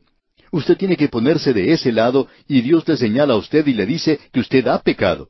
Usted ahora tiene que decir, observándose a sí mismo, Señor, tienes razón, yo he pecado. Yo digo la misma cosa que el Señor dice y confieso mi pecado. Eso es lo que quiere decir si confesamos nuestros pecados. Y creemos que esta es una declaración que indica una de las grandes necesidades de la iglesia en el presente. ¿Puede recordar usted cuándo fue la última vez que escuchó a un hijo de Dios decir, yo he pecado, me he equivocado, he cometido algo malo? De vez en cuando se escucha a alguien decir eso. Quisiéramos presentar un ejemplo para ilustrar esto. Un hombre contaba en cierta ocasión que tenía muchos problemas. Se había divorciado de su esposa, él había descubierto que ella le era infiel. Había perdido su hogar, había perdido su trabajo. Era una persona, por cierto, muy desanimada. Y él decía, Ah, yo quiero servir a Dios, pero he fracasado. Soy un fracaso completo. El pastor le dijo que no viniera a llorar ante él, sino que fuera y le dijera eso a Dios. Él quiere que uno haga esto, que uno le diga que ha fracasado, que ha cometido una equivocación. Debemos decirle a Él lo mismo que Él ha dicho en cuanto a eso, que uno quiere su ayuda y Él es su Padre. Usted pertenece a la familia de Dios. Usted ha perdido la comunión con Él pero puede tener esa comunión restaurada, puede recobrarla. Y el versículo nueve nos alienta al decir, si confesamos nuestros pecados, Él es fiel y justo para perdonar nuestros pecados y limpiarnos de toda maldad. ¿Y qué es lo que Él hace entonces? Él nos limpia. Eso nos demuestra lo que sucedió con el Hijo pródigo. Cuando Él regresó a su hogar, antes de ser vestido con ropa nueva, Él tuvo que lavarse. Usted no va a pensar que el padre iba a colocar un vestido nuevo sobre un cuerpo tan sucio como el que tenía el hijo al haber vivido en esa posilga. No, primero él hizo que se lavara. En el mundo romano ellos se preocupaban mucho por la limpieza, y este joven tuvo un buen baño, él fue limpiado muy bien, y luego fue vestido con un vestido nuevo. Y luego no fue y le dijo a su padre, Papá, creo que me voy de nuevo a vivir en una provincia alejada y terminar de nuevo en la posilga. No, amigo oyente, debemos decirle que cuando usted ha confesado sus pecados a Dios, quiere decir que usted se ha apartado de ese pecado, quiere decir que usted ha dicho lo mismo que Dios ha dicho. Es algo terrible, Dios lo aborrece, usted lo aborrece también, pero ahora usted ha sido restaurado a su Padre. El apóstol Juan concluye en el primer capítulo diciendo en el versículo diez, Si decimos que no hemos pecado, le hacemos a Él mentiroso, y su palabra no está en nosotros. Amigo oyente, no haga a Dios mentiroso. ¿Por qué no va al Señor ahora mismo y abre su corazón y habla con Él de una forma que no puede hablar con ninguna otra persona? Cuéntele todos sus problemas, dígale a Él sus pecados, dígale a Él en cuanto a sus debilidades, confiésele todo a Él. Usted le puede decir a su Padre que quiere tener comunión con Él y que usted quiere servirle. Ah, amigo oyente, él ha preparado un camino maravilloso hacia Él mismo. Acuda usted a Él. Todavía no hemos concluido en realidad nuestro tema que comenzó allá en el primer capítulo, principiando con el versículo tres. ¿Cómo los hijitos pueden tener comunión con Dios? Estamos tratando con una familia y es una familia completa. En el capítulo uno vimos que es en primer lugar el andar en la luz. No es cómo uno anda, sino dónde anda lo que es importante. Usted puede pensar que está andando en comunión con Dios, pero la realidad no es esa, porque usted tiene que andar en la luz. Por tanto, es dónde uno anda o camina. Si usted está andando en la luz, entonces puede tener comunión con Dios. La segunda cosa que debe hacer para tener comunión con nuestro Padre Celestial es confesar los pecados. Cuando andamos en la luz, sabemos que la sangre de Jesucristo sigue limpiándonos de todo pecado. Pero también sabemos que hay imperfecciones en nuestra vida, ya que por eso es que nosotros confesamos nuestros pecados. Ahora, al llegar aquí al capítulo dos de esta primera epístola del apóstol Juan, notamos en los primeros dos versículos que se menciona el tercer asunto, y es el de la representación de Cristo. Al llegar allí, podemos ver ahora la conclusión de lo que comenzó allá en el versículo cinco del capítulo uno, cuando dijo, Este es el mensaje. Bueno, este es el mensaje del Evangelio de la gracia de Dios, que toma a un pecador en camino al infierno y por medio de una sencilla fe en Cristo Jesús le lleva a la familia de Dios, donde ahora son herederos y coherederos con Jesucristo. Es una relación con el Padre la que es de suma importancia. Al comenzar aquí este capítulo dos, nos damos cuenta que en el versículo uno dice lo siguiente Hijitos míos, estas cosas os escribo para que no pequéis, y si alguno hubiere pecado, abogado tenemos para con el Padre a Jesucristo el justo. Hijitos míos, dice aquí, estas cosas os escribo para que no pequéis. Detengámonos aquí por un momento. Él nos está escribiendo estas cosas porque Dios no quiere que sus hijos pequen. Y Él ha hecho una provisión amplia y adecuada para que nosotros no pequemos. Pero nuestra entrada en esto es algo muy imperfecto. Aunque Él ha provisto una entrada perfecta, nosotros nunca entramos perfectamente a causa de nuestra imperfección. Ahora, la primera frase de este versículo podría ser traducida de la siguiente manera.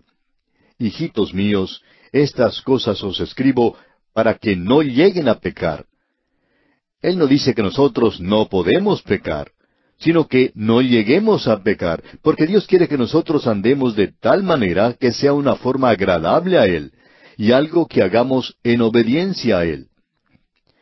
Lo que tenemos aquí entonces en el capítulo anterior y en este capítulo, en estos dos primeros versículos, es cómo nosotros podemos tener comunión con el Padre. Esta es una verdad de familia, y la razón por la cual hemos enfatizado esto es porque hay tal énfasis presuntuoso en el presente en lo que ha sido llamado desmintiendo la verdad y es el mensaje de Efesios.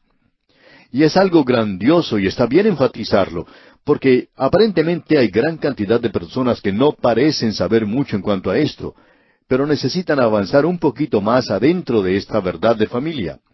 Y esto quiere decir que nosotros no somos solamente un cuerpo, sino que debemos funcionar como una computadora cuando uno programa a cierta persona, y tenemos tanto de esto hoy, que uno sigue cierto rito, una regla y si usted ha sido programado correctamente, entonces al terminar el día piensa que ha logrado algo.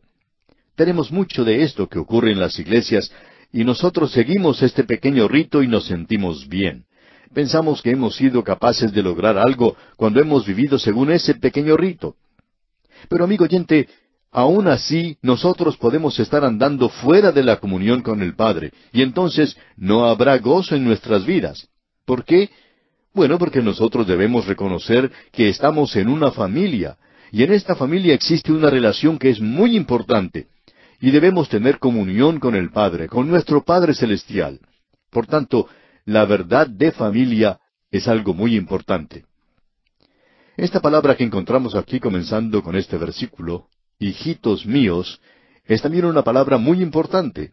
También eso puede ser como niñitos míos.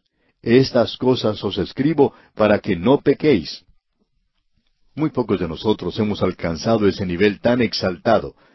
En realidad nunca nos hemos encontrado con alguien que haya llegado a ese nivel tan elevado. Uno escucha hablar de él, pero Nunca nos hemos encontrado con alguien que pensáramos haya alcanzado ese lugar de una perfección sin pecado. Esto nos hace recordar de una historia un poco extravagante que se cuenta de cierto hombre que estaba pronunciando un discurso.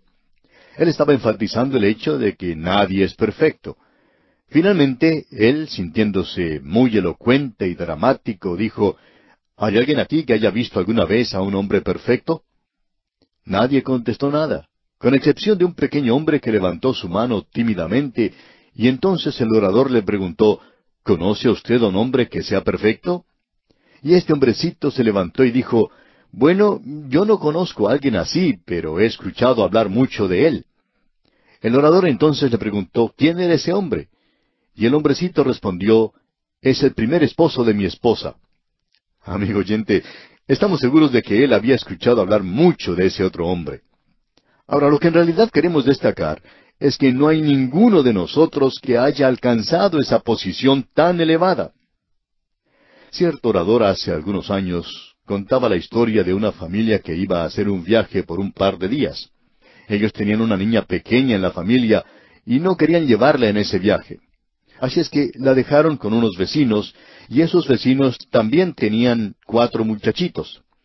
De modo que, cuando esta familia regresó de su viaje y volvieron a llevar a su niña a casa, la niñita le dijo a su padre, Papá, había cuatro jovencitos en la casa donde yo estuve cuando ustedes viajaron. Y el padre le contestó que sí, que él sabía eso. Y la niña dijo, Papá, ellos tienen un altar familiar todas las noches. Y el padre respondió, Ah, eso es muy bueno. La niña continuó, Bueno, Todas las noches el padre de los muchachitos ora por ellos. Y el padre de la niña contestó, Pues eso es muy bueno, y me alegra enterarme de eso. Y la niñita continuó hablando y dijo, Él ora, papá, que Dios haga de ellos muchachos buenos, de que ellos no vayan a hacer nada malo. Y su papá le dice, Bueno, eso está muy bien. Ella estuvo callada por un momento y luego dijo, Pero papá, Dios no lo ha hecho todavía. Amigo oyente, pensamos que la mayoría de nosotros, si somos honestos con nosotros mismos, tenemos que decir, bueno, Dios no lo ha hecho todavía. No hemos alcanzado aún ese nivel tan elevado. Así es que Juan está diciendo aquí, hijitos míos, mis pequeños niños, estas cosas os escribo para que no pequéis, para que no pequen continuamente. Dios no quiere que nosotros vivamos en el pecado. Vamos a ver más adelante que Juan nos va a decir, todo aquel que es nacido de Dios no practica el pecado. No vamos a entrar en eso ahora, pero notemos que dice que no practica el pecado, o sea, no vive en el pecado. El hijo pródigo se levantó y salió de la posilga. Él nunca se quedó allí. ¿Por qué? Porque es un hijo. Pero también necesitamos reconocer que la Escritura nos dice, Ciertamente no hay hombre justo en la tierra que haga el bien y nunca peque. Puede usted comprobarlo allá en Eclesiastés capítulo siete versículo veinte. Ahora usted y yo podemos decir, bueno, no creo haber hecho algo realmente malo. Pero, ¿qué en cuanto a hacer el bien? Recuerde, amigo oyente, que hace poco tiempo estuvimos estudiando la epístola de Santiago. Y allí vimos esto en el capítulo cuatro, versículo diecisiete. Al que sabe hacer lo bueno y no lo hace, ¿qué dice? Le es pecado. Así es que hay pecados de comisión, o sea, pecados que se cometen, y hay pecados de omisión, o sea, pecados donde se deja de hacer el bien. Usted y yo, amigo oyente, debemos andar en la luz. Cuando andamos en la luz, podemos apreciar que no hemos alcanzado aún ese nivel tan elevado. Ahora, cada hijo de Dios que es sincero desea tener comunión con Dios. Con todo, él sabe que en su vida propia, en sí mismo, él no lo está alcanzando y que existe pecado en su vida. Y ese pecado, aunque sea muy pequeño, rompe esa comunión con el Padre, rompe nuestra comunión con Él. Se cuenta que cierta vez el gran predicador Spurgeon cruzaba la calle y se detuvo y parecía que estaba orando, porque eso era precisamente lo que estaba haciendo. Uno de los miembros de su iglesia estaba esperándolo del otro lado de la calle, porque lo vio venir, y cuando finalmente llegó al otro lado le dijo, Usted podía haber sido arrollado por un carro. ¿Qué es lo que estaba haciendo? Parecía como que estaba orando. Y entonces Spurgeon dijo, Sí, estaba orando. Y este hombre dijo, ¿y qué era tan importante que debía detenerse a orar allí mismo? Spurgeon contestó, Bueno, una nube se interpuso entre mí y mi Salvador y quería quitarla aún antes de cruzar al otro lado de la calle. Y amigo oyente, en el día de hoy hay muchos creyentes que están viviendo una vida en la cual están constantemente desobedeciendo a Dios y todavía se preguntan, ¿por qué no están teniendo comunión con Dios? Esta gente necesita reconocer que eso tiene que ver con la comunión con Él. Esto no quiere decir que uno ha perdido la salvación, porque en la próxima frase de ese versículo Juan dice, y si alguno hubiere pecado, abogado tenemos para con el Padre a Jesucristo el justo. Ahora debemos notar lo siguiente, que Él no es un abogado para con Dios, sino para con el Padre. Él es aún nuestro Padre, aun cuando pecamos. Por tanto, debemos reconocer que nuestra salvación descansa sobre lo que Cristo ha hecho por nosotros. Y eso es concluir su obra, como dice el apóstol Pablo en su epístola a los Filipenses, capítulo uno, versículo seis. Estando persuadido de esto, que el que comenzó en vosotros la buena obra, la perfeccionará hasta el día de Jesucristo. Ahora Juan continúa diciendo aquí en este versículo uno del capítulo dos de su primera epístola, y si alguno hubiere pecado, ¿qué es lo que sucede? Bueno, tenemos un abogado para con el Padre. ¿Y quién es este? Jesucristo el justo. Él es el consolador. Esa es la palabra que se ha usado en realidad. Se dice también eso del Espíritu Santo. Él es nuestro consolador aquí en la tierra y Cristo es nuestro consolador allá en el cielo. Ahora esta es una expresión legal. Tiene que ver con el asunto del pecado como creyentes, porque cuando nosotros pecamos tenemos un Padre Celestial maravilloso. Nosotros no perdemos nuestra salvación, pero hay alguien que quiere que nosotros la perdamos y ese es Satanás. Y se nos dice que Satanás es el acusador de los hermanos. Allá en Apocalipsis capítulo 12 versículo 10 leemos, Entonces oí una gran voz en el cielo que decía, Ahora ha venido la salvación, el poder y el reino de nuestro Dios y la autoridad de su Cristo, porque ha sido lanzado fuera el acusador de nuestros hermanos, el que los acusaba delante de nuestro Dios día y noche. Y Satanás se encuentra allí para acusarnos. Usted recuerda que él encontró algo que no andaba bien con Job. Él dijo, permíteme que yo me acerque a él y poder demostrar lo débil que él es en realidad. Bueno, el Señor Jesús es capaz de interceder y ser nuestro abogado. Él es quien murió por nosotros, y Él dice, Él es mi Hijo. Sin embargo, Allí se encuentra el acusador, y hay muchas personas que se preocupan por esto. Pero nosotros tenemos un abogado, y es más grande aún que el acusador. Alguien expresó esto en un lenguaje muy hermoso. Dijo, Escucho al acusador rugiendo, expresando los males que yo he hecho. Los conozco muy bien, y miles más. Pero Jehová no encuentra ninguno. Aunque el enemigo sin descansar acusa, los pecados son mencionados como un diluvio, cada acusación nuestro Dios rechaza porque Cristo las ha cubierto con su sangre.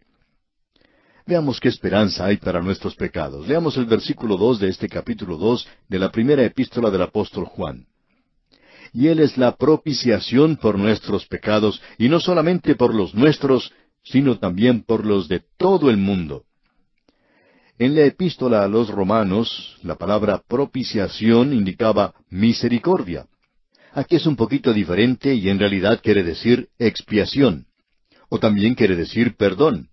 Indica que nuestros pecados han sido pagados por el sufrimiento de otro. Cristo ha muerto y porque Él murió por nosotros, ahora somos hijos de Dios.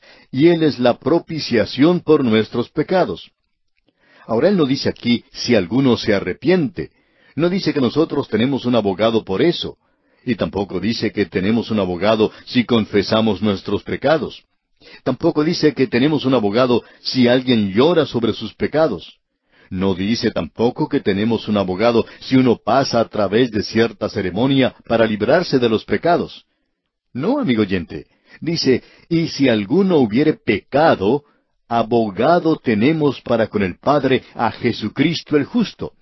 Él hace eso en el mismo instante en que usted y yo hemos dicho quizá una palabra cruel, brutal, de alguna persona y la hemos herido. En el momento en que usted y yo hemos tenido un mal pensamiento, en el momento en que usted y yo hemos hecho algo malo, Jesucristo se encuentra allí para representarnos. El Hijo de Dios sincero quiere complacer al Padre, y al andar con esto en mente, puede decir lo que el salmista expresó cuando dijo allá en el Salmo 139, versículo 23, Examíname, oh Dios, y conoce mi corazón, pruébame y conoce mis pensamientos. Cada hijo de Dios quiere por tanto complacer a Dios el Padre. Y gracias a Dios que nosotros tenemos una propiciación. Eso quiere decir que Cristo es en realidad para nosotros nuestro propiciatorio.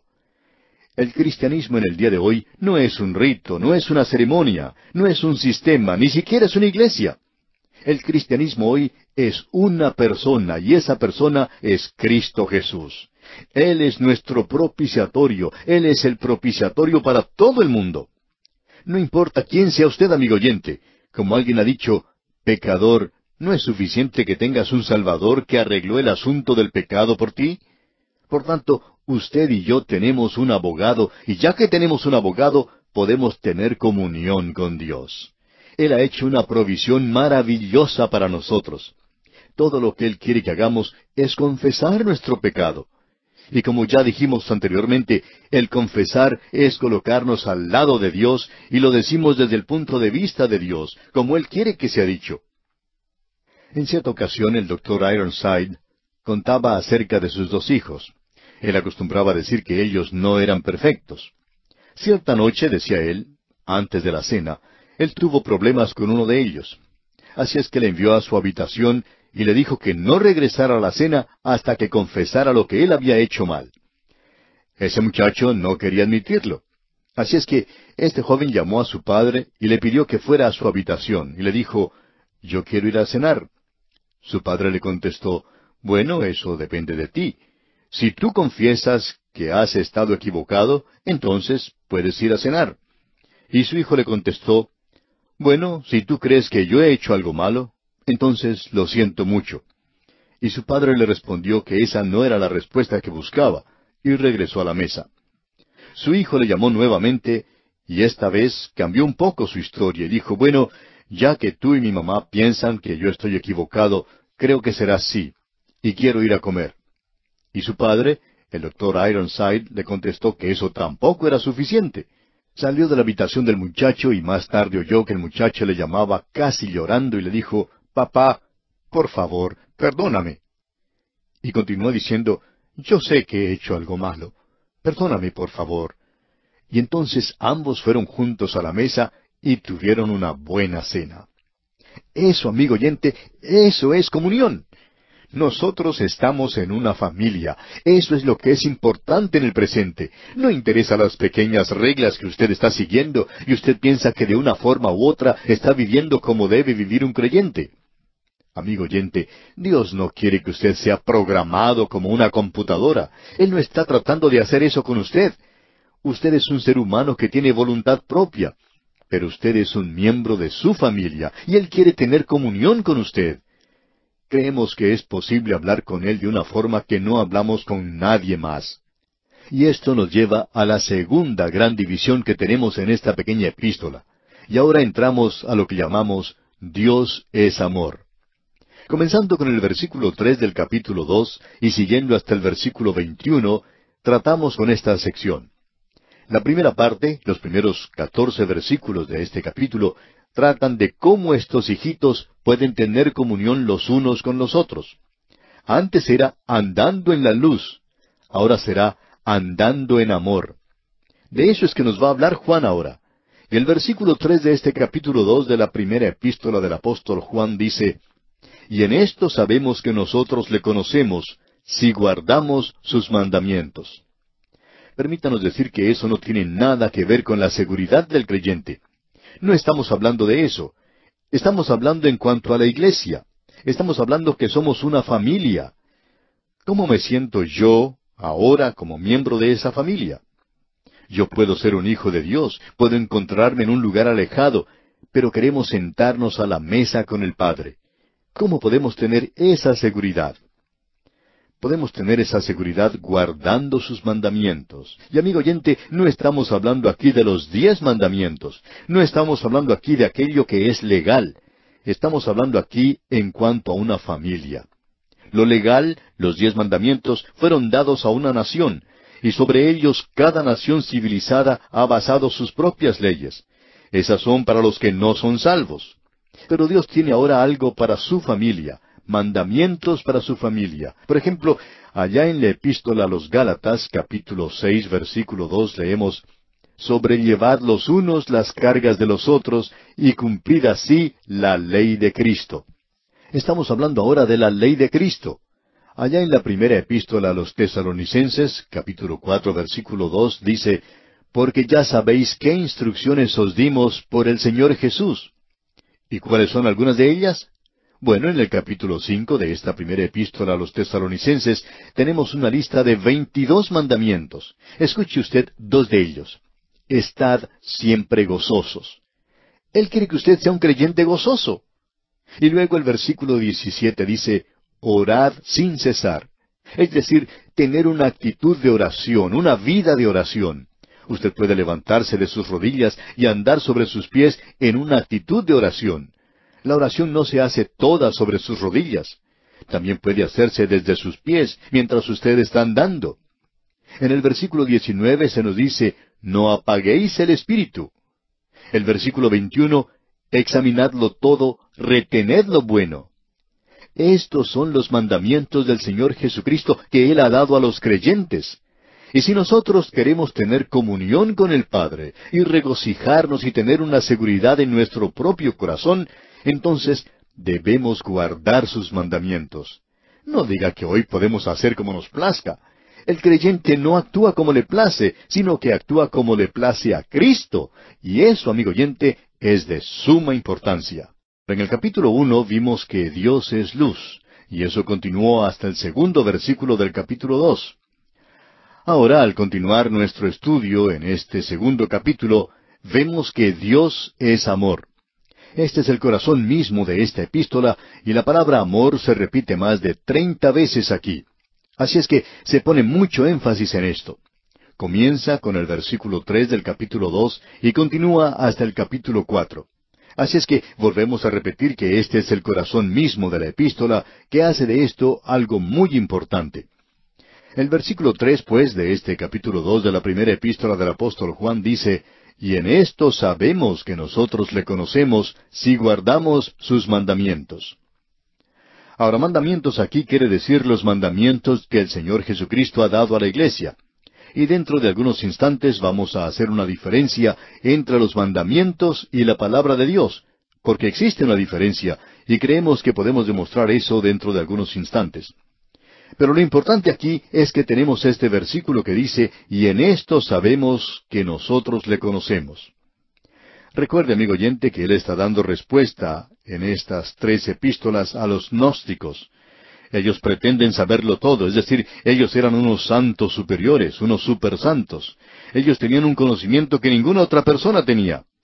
Por lo general era una herejía. Y aquí Juan dice, y en esto sabemos nosotros que le conocemos. Y lo importante, amigo oyente, es conocer al Señor Jesucristo. Ahora, ¿cómo podemos tener seguridad de esto? Bueno, hay muchas personas que creen en la seguridad del creyente, pero ellos no tienen la seguridad de la salvación, y las razones son obvias. Si guardamos sus mandamientos. Él no está diciendo aquí que nosotros no somos salvos, sino que Él está diciendo que tenemos una seguridad, una certeza, sabemos. La obediencia a Cristo es algo esencial y esa es la base misma de la seguridad. Usted puede guardar las apariencias y hacer creer a los demás que está obedeciendo, pero usted no puede tener en lo profundo de su corazón esta seguridad a no ser que guarde sus mandamientos. Así es que Él está tratando con esto aquí de una forma muy directa, por cierto. Y en esto sabemos. Y eso es algo que debemos saber. Ahora el versículo cuatro dice, el que dice, yo le conozco, y no guarda sus mandamientos, el tal es mentiroso, y la verdad no está en él. Debemos decir, amigo oyente, que la forma de hablar del apóstol es muy directa, categórica, una forma de expresarse muy terminante. Es decir, que lo que él está diciendo es esto, y en esto sabemos que nosotros le conocemos si guardamos sus mandamientos. O sea, lo sabemos por experiencia, sabemos eso y eso está en contraste con el conocimiento esotérico de los gnósticos. En otras palabras, esto es lo negativo. La desobediencia a Cristo es prueba de que nosotros no le conocemos. Este es un lenguaje franco y directo. Desobediencia a Cristo de parte de un creyente que profesa hacerlo es lo mismo que ser un mentiroso. Hay muchas personas que dicen, ah, yo soy un hijo de Dios. Pero, ¿son ellos en realidad hijos de Dios? Porque una cosa es decir, yo soy un hijo de Dios, y otra cosa es decir, yo soy un creyente. Y aún otra cosa es ser poseedor de la vida eterna, tener una nueva naturaleza que clama al Padre, le llama Padre y quiere obedecerle. Es la persona que lo ama a Él, ama a su palabra. Es muy difícil hacernos creer que todas esas iglesias que no aman la palabra de Dios y son desobedientes a Cristo, es muy difícil, repetimos, hacernos creer que esas personas son en realidad hijos de Dios. No podemos creer que eso sea cierto. El decir que uno es un hijo de Dios es una cosa, pero el conocer la experiencia de la regeneración es otra cosa. Por tanto, Juan lo está presentando aquí de una manera muy clara. Sabemos que nosotros le conocemos porque guardamos sus mandamientos. Nosotros no estamos hablando en cuanto a los mandamientos legales del Antiguo Testamento, como dijimos en nuestro programa anterior, sino a los mandamientos que Él ha dado a la iglesia. Y si un hijo de Dios no tiene amor para esos mandamientos, él se encuentra en hiel de amargura y en prisión de maldad, como dice la Escritura allá en el libro de los Hechos, capítulo ocho, versículo veintitrés. El Señor Jesucristo, cuando Él estuvo aquí en la tierra, dijo, Yo siempre hago las cosas que complacen al Padre. Bueno, yo no puedo decir eso, pero puedo decir, Yo amo complacerle a Él y he dedicado mi vida a eso. Me doy cuenta que a veces fracaso en alguna de esas cosas, pero quiero complacerle. Tengo ese deseo. El que cree en el Hijo tiene vida eterna, pero esto corrobora su fe cuando Él es capaz de conocer en su propio corazón y decir, yo amo hacer la voluntad de Dios. El hombre natural nunca quiere hacer la voluntad de Dios. Juan lo dice de una manera muy directa, por cierto, cuando expresa, el que dice, yo le conozco, y no guarda sus mandamientos, el tal es mentiroso. No somos nosotros los que decimos esto, amigo oyente, sino es Juan que lo está diciendo. Y Juan le puede decir a usted que fue el Espíritu Santo quien le impulsó a decirlo. Y la verdad, dice Juan, no está en él. Leamos juntos los versículos cuatro y cinco de este capítulo dos de la primera epístola del apóstol Juan, que dicen, El que dice, Yo le conozco, y no guarda sus mandamientos, el tal es mentiroso, y la verdad no está en él. Pero el que guarda su palabra, en éste verdaderamente el amor de Dios se ha perfeccionado. Por esto sabemos que estamos en él. Queremos hacer una diferencia ahora que presentan muy pocos expositores. Creemos que existe una diferencia entre la palabra de Dios y los mandamientos de Dios. Ahora alguien quizá nos llame la atención y nos diga que los mandamientos son la palabra de Dios. Bueno, los mandamientos son la palabra de Dios. Pero la palabra de Dios no son los mandamientos. Es mucho más que eso. Y esperamos que usted vea la diferencia, amigo oyente. Hay mandamientos que se encuentran en la palabra de Dios, pero la palabra de Dios no son los mandamientos. Por tanto, lo que aquí tenemos es una porción de los mandamientos y de la voluntad de Dios. En la palabra de Dios usted tiene su revelación completa para nosotros en cuanto a su voluntad para nuestra vida. Por tanto, Aquí tenemos esta diferencia. Ahora, el Señor Jesucristo dijo allá en el capítulo catorce del Evangelio según San Juan, versículo quince, Si me amáis, guardad mis mandamientos. Y en el mismo capítulo catorce de Juan, versículo veintitrés, dice, El que me ama, mi palabra guardará. Ahora, ¿cuál es la diferencia aquí? Bueno, creemos que podemos decirlo de la siguiente manera, presentando una ilustración hogareña. Algunos la han usado en una forma diferente, pero permítanos presentarlo de la siguiente manera. Tenemos a un jovencito en un hogar y en un lugar del campo. Su padre es un agricultor. Él le dice a su hijo cuando éste está saliendo para la escuela, Hijo, cuando regreses de la escuela hoy, quiero que vayas a cortar algo de leña y quiero que la pongas en la parte trasera de la casa para que tu madre pueda recogerla y hacer fuego para cocinar y para calentar la casa. De modo que cuando el joven regresa de la escuela, él obedece a su padre. El mandamiento de su padre es que corte leña. Entonces el joven sale por una o dos horas y corta leña después de haber regresado del colegio. Luego él pasa algún tiempo trayendo esa leña y colocándola en la parte trasera de la casa. Luego el padre le dice al hijo, Cuando regrese de trabajar en el campo, voy a ordeñar la vaca. Cierto día el padre dice, Bueno, hoy no me siento muy bien. Luego, cuando se levanta de la mesa, él dice, me siento tan mal que no creo que voy a salir a trabajar al campo hoy. Pero él sale a hacer su trabajo. Cuando el joven regresa de la escuela, él tiene que obedecer ese mandamiento de ir a cortar leña. Así es que él va y corta la leña. Él sabe también que su padre está enfermo y que no se siente con fuerzas como para ir a ordeñar la vaca. Así es que este joven sale y también ordeña la vaca. Ahora, a él no se le había mandado hacer eso. Él lo hizo porque ama a su Padre. Ahora un hijo de Dios, amigo oyente, quiere obedecer no solo los mandamientos, sino que también quiere obedecer la palabra de Dios. Es decir, que él quiere complacer al Padre en todo lo que hace. A veces uno recibe cierta impresión de algunos creyentes por la forma en que hablan. Ellos dicen, ¿cuánto puedo alejarme en mi conducta y aún continuar siendo un creyente? Y ellos también hacen preguntas como esta que nosotros no vamos a contestar para los jóvenes. Dicen, ¿está bien que un creyente vaya a un baile? ¿Está bien para un creyente ir a ver películas de cine? ¿Está bien que un creyente haga esto o aquello? Esas eran cosas que el creyente ni siquiera consideraba, y uno nunca las debe responder porque eso es hacer la pregunta equivocada. ¿Cuál es entonces la pregunta correcta? La pregunta correcta debería ser, ¿qué puedo hacer para complacer a mi Padre Celestial? ¿Qué puedo hacer para complacer a Cristo? Amigo oyente, un hijo de Dios quiere complacerle, no quiere vivir al margen de la vida cristiana. Hay creyentes que quieren hacer todo cuanto les sea posible. Sabemos de algunos creyentes hoy que piensan que son tolerantes, liberales, de miras muy amplias. Ellos tienen que beber vino y cerveza para demostrar que ellos son tolerantes y piensan que uno no lo es.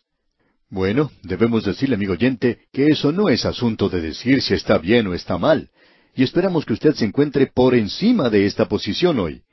Nuestra posición hoy es donde uno dice, yo quiero complacer a mi Padre Celestial. Yo quiero hacer las cosas que le complazcan a Él, que le traigan gozo a su corazón y gozo a mi propia vida. Y yo puedo tener comunión con Él. Eso es lo que se debe hacer y debemos hacer eso en base al amor. Nosotros le amamos a Él y queremos guardar sus mandamientos. Él dice, El que me ama, mi palabra guardará. Eso es ir un poco más allá de guardar los mandamientos nada más. Usted puede hacer algo extra.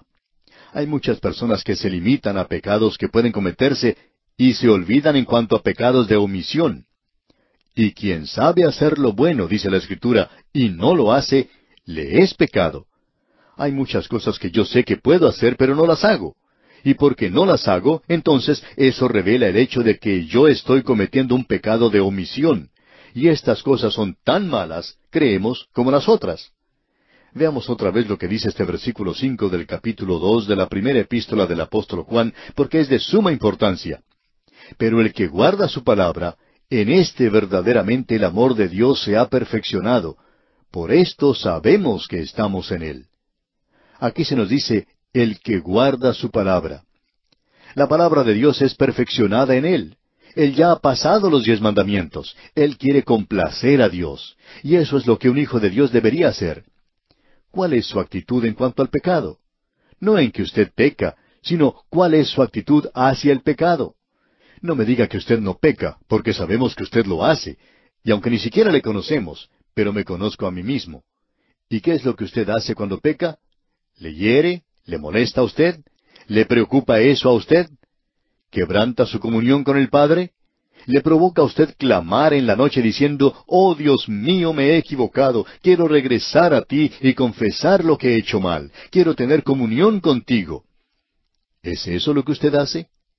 Amigo oyente, en base a ello, Él restaurará su comunión con nosotros. Así es como nosotros recibimos esa seguridad en nuestros corazones. Ahora el versículo seis de este capítulo dos de la primera epístola del apóstol Juan dice el que dice que permanece en Él debe andar como Él anduvo. O sea que el Señor Jesucristo es nuestro ejemplo. Nosotros no podemos hacer milagros, y hay muchas cosas que nosotros no podemos hacer que Él sí hizo. Pero por lo menos podemos anhelar el hacer la voluntad del Padre. Eso es lo que el Señor Jesucristo colocó en una posición superior en su corazón y en su vida. Así es que Él dice aquí que Cristo se manifiesta en el creyente cuando Él guarda la palabra de Cristo. Se oye mucho hablar hoy en cuanto a esa palabra dedicación o compromiso. ¿Quiere usted, amigo oyente, dedicar su vida a Cristo? ¿Se escucha tanto hablar de eso hoy? Pues bien, permítanos decir lo que significa aquí. La dedicación completa es el amor de Cristo. Y para amar a Cristo, dice él, usted va a guardar su palabra. Es imposible hacer otra cosa. Usted quiere complacer a la persona que ama. Usted no quiere ofender a la persona que ama. Usted quiere complacerle. Esa es la razón por la cual de vez en cuando Uno envía rosas a su esposa, porque uno quiere complacer a la esposa o a la persona que ama. Entonces, la pregunta no es si uno se ha dedicado a Cristo, sino que es el amor a Cristo lo que es importante. ¿Ama usted, amigo oyente, a Cristo? Llegamos ahora a un versículo que es muy importante, el versículo siete de este capítulo dos de la primera epístola del apóstol Juan. Leamos. Hermanos, no os escribo mandamiento nuevo, sino el mandamiento antiguo que habéis tenido desde el principio. Este mandamiento antiguo es la palabra que habéis oído desde el principio. ¿Cuál fue la palabra que habían oído desde el principio? Bueno, regresemos a observar esto por un instante. El principio aquí en la primera epístola del apóstol Juan es la encarnación de Cristo. Comenzó en Belén, se desarrolló en un taller de carpintería y luego por tres años fue su ministerio finalizando en una cruz y no finalizando allí en realidad porque él fue colocado en una tumba y tampoco terminó allí, sino que resucitó al tercer día. Así es que tenemos aquí un mandamiento que regresa, indica que es un mandamiento que él dio. Y está diciendo, no estoy dando nada nuevo. Ustedes han escuchado esto desde el mismo principio. Si usted lee en el Evangelio según San Juan capítulo 13 versículo 34, encontrará allí que el Señor Jesucristo está hablando. Y él dice, Un mandamiento nuevo os doy, que os améis unos a otros, como yo os he amado, que también os améis unos a otros. Y luego en el capítulo 14 del mismo Evangelio según San Juan, versículo 21 dice, el que tiene mis mandamientos y los guarda, ese es el que me ama, y el que me ama será amado por mi Padre. Luego podemos leer lo que dice allá en el capítulo quince del Evangelio según San Juan, versículo diez. Si guardareis mis mandamientos, permaneceréis en mi amor, así como yo he guardado los mandamientos de mi Padre y permanezco en su amor.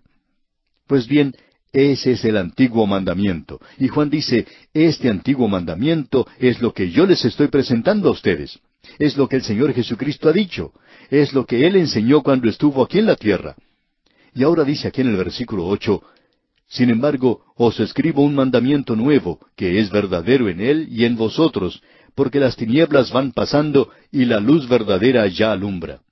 Ahora, ¿por qué es un nuevo mandamiento para los creyentes, creyentes que son regenerados y en los que mora el Espíritu Santo? ¿Por qué? Porque eso fue dado del otro lado de la cruz a la venida del Espíritu Santo. Ahora, de este lado, esto es algo nuevo. Y los creyentes tienen que hacer la voluntad de Dios, y la voluntad de Dios es primordialmente el amarle. ¿Cuán importante es esto que tenemos aquí, amigo oyente? Esto es algo que identifica al creyente. Un creyente es alguien que se deleita en hacer la voluntad de Dios. Un creyente debería ser capaz de decir, porque las tinieblas van pasando y la luz verdadera ya alumbra.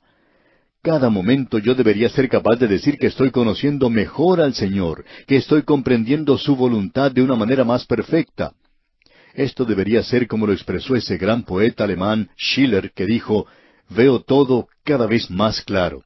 Esa debería ser la experiencia del Hijo de Dios, que cada día debería estar creciendo, desarrollando. Y usted no puede crecer aparte de la palabra de Dios. No hay otra forma. Él es el alimento, Él es el pan de vida, Él es el agua de vida. Usted va a perecer, va a perecer de hambre si no se alimenta de Él. El gran problema del presente es que hay muchos creyentes que están tratando de seguir ciertas normas, ciertas reglas, y nuevamente debemos repetir que están programados como una computadora. Ellos piensan que están triunfando porque todas esas pequeñas cosas que hacen están dando resultado. Amigo oyente, si usted es un ser humano y un hijo de Dios, usted tiene una nueva naturaleza y usted tiene también la vieja naturaleza. Y como dijo el apóstol Pablo, yo sé que en mi carne no mora cosa buena. Pablo decía que él quería hacer su voluntad. Eso es lo que está en su corazón y en su vida. Nosotros podríamos señalar algunos versículos de la Escritura para que tenga seguridad, pero usted nunca la experimentará hasta cuando esté dispuesto a hacer su voluntad, es decir, la voluntad de Dios. Estamos en el capítulo dos y vamos a comenzar nuestro estudio con el versículo nueve. Juan está hablando aquí en cuanto al hecho de que hoy nosotros estamos andando en tinieblas porque aborrecemos a nuestro hermano. Eso indica que es imposible para usted, como hijo de Dios, andar en la luz y a la vez aborrecer a su hermano. Amigo oyente, si usted hace eso, quiere decir que hay algo que está completamente mal en cuanto a la confesión de su fe. Eso no quiere decir que no haya algunas personas cuyos hábitos y formas de actuar sean censurables para usted, y hay algunas personas que no les interesa estar junto a otros creyentes que tienen ciertos hábitos, los cuales usted no aprueba, y eso se puede comprender bien. Pero el aborrecerlos, eso es algo que revela que usted está en realidad en las tinieblas. Permítanos observar esto nuevamente. En el versículo ocho de este capítulo dos de la primera epístola del apóstol Juan leemos Sin embargo os escribo un mandamiento nuevo, que es verdadero en él y en vosotros, porque las tinieblas van pasando, y la luz verdadera ya alumbra. Él está hablando aquí de que las tinieblas están pasando. Ahora usted puede ver a su alrededor hoy y no han pasado todavía, pero están pasando. La ignorancia de la palabra de Dios está en evidencia en el presente, porque las tinieblas se están pasando y la luz verdadera ya alumbra, dice aquí. Es decir, esa luz verdadera, la cual es el Señor Jesucristo, está comenzando a alumbrar en el mundo hoy. Él es aún la persona más controversial que haya existido en esta tierra. Ahora el versículo nueve dice, El que dice que está en la luz y aborrece a su hermano, está todavía en tinieblas. El amar a un creyente es la prueba de la fe genuina, y el aborrecer a un creyente es evidencia de que una persona no está en la luz. Eso es algo que debemos mantener ante nosotros. Debemos reconocer que esa es la oscuridad natural en la cual nacen todos los hombres. De esto habla el apóstol Pablo cuando dijo allá en su epístola a los Efesios, capítulo cuatro, versículo dieciocho, teniendo el entendimiento entenebrecido, ajenos de la vida de Dios por la ignorancia que en ellos hay, por la dureza de su corazón. Esa es la condición natural de la humanidad. Pero nuestra condenación no es debido a lo que somos por naturaleza. El apóstol Juan dice en el capítulo tres, versículo diecinueve de su Evangelio, Y esta es la condenación, que la luz vino al mundo, y los hombres amaron más las tinieblas que la luz, porque sus obras eran malas. Esto es algo muy importante de notar y esperamos que usted no lo deje pasar por alto. Usted no es responsable porque sea un pecador por naturaleza, sino que es responsable si rechaza al Salvador. Usted no es responsable porque nació en las tinieblas, porque su entendimiento está en tinieblas, sino que usted es responsable si rechaza la luz que viene hasta usted a través de la palabra de Dios. Ahora esta es una luz que expulsará todas las tinieblas si usted anda en ella, en lugar de apartarse de esos rayos que le pueden iluminar, permítale examinar su propio corazón. Si los hombres continúan rechazando la luz, llegará un día cuando Dios quitará esa luz. Esta gente será quemada. Esaú era esa clase de hombre. Era casi rojo, tostado por el sol.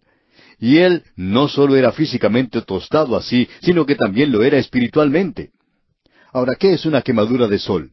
Bueno, esto quiere decir que la piel absorbe todos los rayos de luz con excepción de un rayo en particular, y ese es el que quema la piel. El alma que no acepta al Señor Jesucristo, la luz del mundo, será quemada de la misma manera en que fue quemado Esaú. Ahora debemos apreciar que aquí se nos da un cuadro, y esta es la prueba de que usted está en las tinieblas.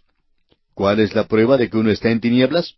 Bueno, parte de la respuesta la encontramos aquí en el versículo once de este capítulo dos de la primera epístola del apóstol Juan, donde leemos Pero el que aborrece a su hermano está en tinieblas, y anda en tinieblas, y no sabe a dónde va, porque las tinieblas le han cegado los ojos.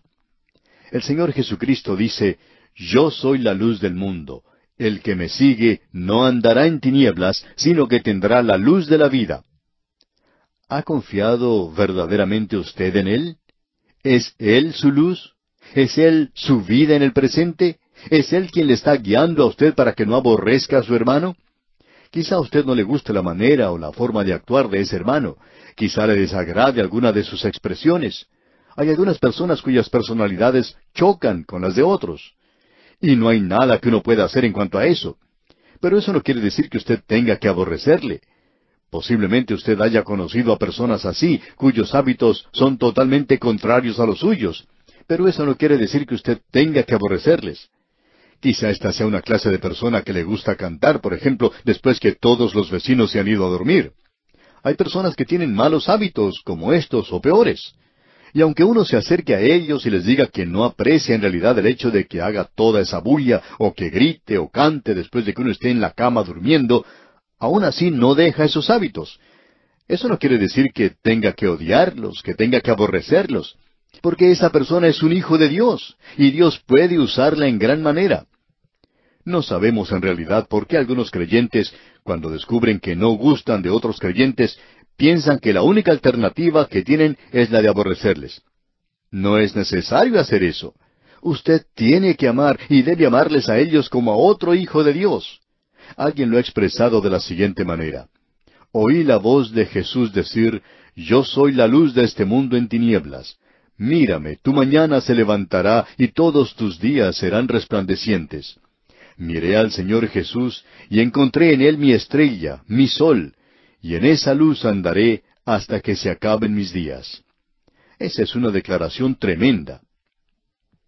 Ahora el versículo once de este capítulo dos de la primera epístola del apóstol Juan dice, Pero el que aborrece a su hermano está en tinieblas y anda en tinieblas, y no sabe a dónde va porque las tinieblas le han cegado los ojos.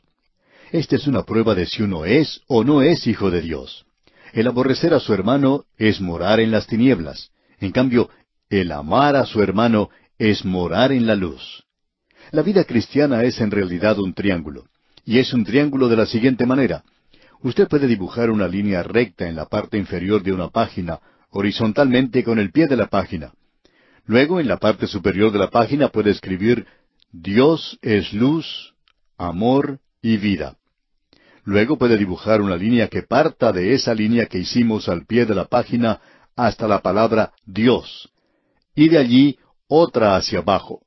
En ese punto puede colocar su nombre. Amigo oyente, Dios está en la parte superior, y la luz de Dios se extiende hasta su corazón y su vida. Y luego el amor de Dios también desciende, pero su amor por Él sube, y usted le ama porque Él nos amó primero. Ahora, en el otro punto de la línea de la base, usted puede dibujar otra línea hasta Dios, una línea recta. Pues bien, la luz ha descendido. El amor también ha descendido a otro creyente, porque en el otro punto de este triángulo tenemos a otro creyente. Si usted está andando en la luz aquí en la tierra, amigo oyente, eso indica también que usted está amando a su hermano. Usted no puede decir que ama a Dios y aborrece a su hermano. Eso es algo absolutamente imposible, como Juan nos presentará de una manera muy clara más adelante. Ya vamos a regresar a esto después. Pero ahora parece que tenemos más o menos un desvío del tema que él ha estado siguiendo, y él comienza ahora a hablar en cuanto a tres clases diferentes de creyentes. Él menciona tres grados diferentes de creyentes. En el versículo doce de este capítulo dos de su primera epístola, dice Juan, Os escribo a vosotros, hijitos, porque vuestros pecados os han sido perdonados por su nombre. La palabra para hijitos en el original es tecnion, y quiere decir un infante recién nacido aquellos pequeñitos que han nacido de nuevo. Creemos que se refiere a todos los creyentes, sin importar su edad, sin importar su madurez como creyentes. Esa es la base sobre la cual todos nosotros descansamos. Nuestros pecados han sido perdonados en base a la sangre que ha sido derramada por Cristo Jesús. Debemos notar eso, pues es importante. Y en este versículo 12 leemos, Os escribo a vosotros, hijitos, porque vuestros pecados os han sido perdonados por su nombre. Hay algunas personas que permanecen como hijitos y nunca salen de esa área, nunca se desarrollan, nunca crecen. Y ahora pasamos a otro grupo y lo encontramos mencionado aquí en el versículo 13. Note usted, dice, Os escribo a vosotros, padres, porque conocéis al que es desde el principio. Os escribo a vosotros, jóvenes, porque habéis vencido al maligno. Os escribo a vosotros, hijitos, porque habéis conocido al Padre. Los padres son aquellos santos que han conocido al Señor Jesús por muchos años y ellos han crecido, han madurado. Estos son santos maduros que andan con Dios por muchos años. Nuestra opinión personal es que David escribió el Salmo 23 después que él era ya una persona anciana. Él nunca podía haber escrito ese salmo siendo joven, cuando era un pastor de ovejas, porque este es un salmo que sale de una experiencia y de una vida que puede apoyarlo una vida que ha pasado a través de toda clase de vicisitudes, que ha enfrentado toda clase de problemas y toda clase de peligros, y es una vida que ha sido vivida en comunión con Dios. Y cuando David escribió ese Salmo 23, demuestra que él era ya un hijo maduro de Dios. Él había crecido. Nosotros lo hemos llamado el Salmo de un rey viejo. Creemos que David está sentado en su trono. Ya es un hombre anciano y él piensa en lo que ha sido su vida. Él recuerda ese pastorcito que estaba en las laderas de Belén y cómo ese pastorcito cuidaba de su rebaño y cómo lo protegía de los animales como los osos y los leones cómo él cuidaba y protegía sus ovejas, y luego él llega a ser rey, y él es ahora un pastor de un pueblo. Y él es rey sobre esa gente, y está sentado allí en el trono, y piensa en lo que ha sido su vida, en esa carrera como pastor, en los momentos cuando él tuvo esa maravillosa amistad con Jonatán, en aquel momento cuando tuvo que huir de la presencia de Saúl, y cómo él llegó a ser rey y reinó por siete años en Hebrón, al sur de Belén, y cómo Dios le había librado y le dio todas las maravillosas doce tribus. Y él reinó sobre ellas. Y luego él cometió ese terrible pecado, y cómo Dios le perdonó cuando él llegó al Señor y confesó todos sus pecados. Y luego David tuvo problemas en su propio hogar porque Dios le disciplinó. Este hombre no tuvo otra cosa sino problemas en el resto de su vida. Ahora su propia alma se revela contra él. Él amaba a su hijo Absalón, él quería que éste llegara a ser el rey y que no se rebelara contra él. Y David huye de Jerusalén y tuvo que refugiarse en las rocas, y ese hijo joven suyo y sus seguidores fueron muertos. Y eso quebrantó de veras el corazón de David. Pero ahora David es un anciano. Está sentado allí en el trono pensando en los años que han pasado. Y él puede decir ahora, Jehová es mi pastor, nada me faltará. Él no dice, nada me ha faltado, él podía haber dicho eso, pero este hombre ahora es un hijo maduro de Dios que puede decir, nada me faltará, con toda certeza, con toda seguridad. Y luego él presenta esas experiencias que ha tenido, cómo fue guiado, llevado por los verdes pastos, cómo había estado cerca de esas aguas tranquilas y cómo Dios le cuidó. Amigo oyente, Juan está escribiendo aquí a los hijitos. Ah, pero él también está escribiendo a los padres, a esos santos maduros de Dios, y hay muchos de ellos hoy, y siempre le damos gracias a Dios por ellos. Volvamos a leer otra vez lo que dice este versículo 13, porque hay otras cosas que debemos destacar. El versículo 13 de este capítulo 2 de la primera epístola del apóstol Juan dice, Os escribo a vosotros, padres, porque conocéis al que es desde el principio. Os escribo a vosotros, jóvenes, porque habéis vencido al maligno. Os escribo a vosotros, hijitos, porque habéis conocido al Padre los jóvenes no son tan maduros como los padres. Es decir, que ellos no han tenido la experiencia que los padres han tenido. Pero ellos han aprendido el secreto de haber triunfado sobre el enemigo por medio de la sangre de Cristo. Ellos han aprendido a cómo vivir por Dios y son fuertes, pero aún son jóvenes. Ellos han vencido al maligno. No diga, amigo oyente, que un joven no puede vivir por Dios hoy. Y luego Juan continuó diciendo, os escribo a vosotros, hijitos, porque habéis conocido al Padre. Estos son pequeños inmaduros. Estos son aquellos que son hijos de Dios, pero esto es todo lo que saben. Pensamos que algunos de ellos piensan que eso es todo lo que se necesita saber. Pero ¿cuántos hijos de Dios hay hoy que son inmaduros, que son pequeñitos?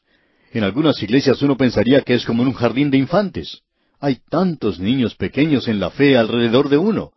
Físicamente han crecido, algunos hasta tienen blancas las sienes, pero todavía son pequeñitos porque nunca han crecido espiritualmente, nunca se han desarrollado, nunca han madurado.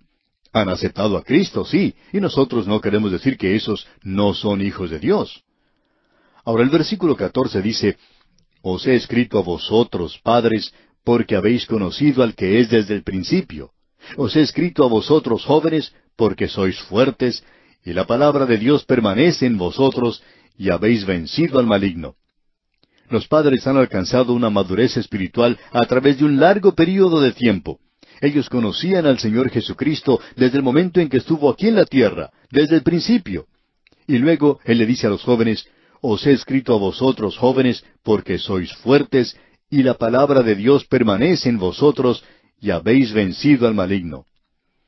Amigo oyente, los jóvenes son fuertes porque ellos conocen la palabra de Dios. Y esta es la única forma en que uno puede llegar a ser fuerte. Quizá usted puede ir a un gimnasio y hacer algunos ejercicios que puedan desarrollar algunos músculos, pero usted nunca llegará a ser fuerte en el Señor sino hasta cuando usted entre a estudiar, a sumergirse profundamente en la palabra de Dios. No hay ninguna otra cosa sino la palabra de Dios que pueda hacerle fuerte. Necesitamos ser ejercitados por la palabra de Dios. Ahora estos jóvenes pueden manejar la espada del Espíritu, porque esa es la única forma en que uno puede vencer al maligno. ¿Y cuál es esa espada del Espíritu? Bueno, el apóstol Pablo dice, la espada del Espíritu es la palabra de Dios. Y mientras uno no sea capaz de manejar la palabra de Dios, uno nunca llegará a ser fuerte en el Señor. Entonces, no nos sorprende ver que tantos tropiezan y caen, y todo eso a causa de esto. Luego Juan regresa al tema en cuanto al amor por el creyente. Este amor no es algo artificial, no es algo que debe derramarse por todas partes. Hay ciertas cosas que no deben amarse. Así es que nos dice en los versículos quince y dieciséis de este capítulo dos de su primera epístola, No améis al mundo ni las cosas que están en el mundo. Si alguno ama al mundo, el amor del Padre no está en él porque todo lo que hay en el mundo, los deseos de la carne, los deseos de los ojos y la vanagloria de la vida, no proviene del Padre, sino del mundo. La palabra para mundo aquí es cosmos, y se refiere al sistema mundial civilizado.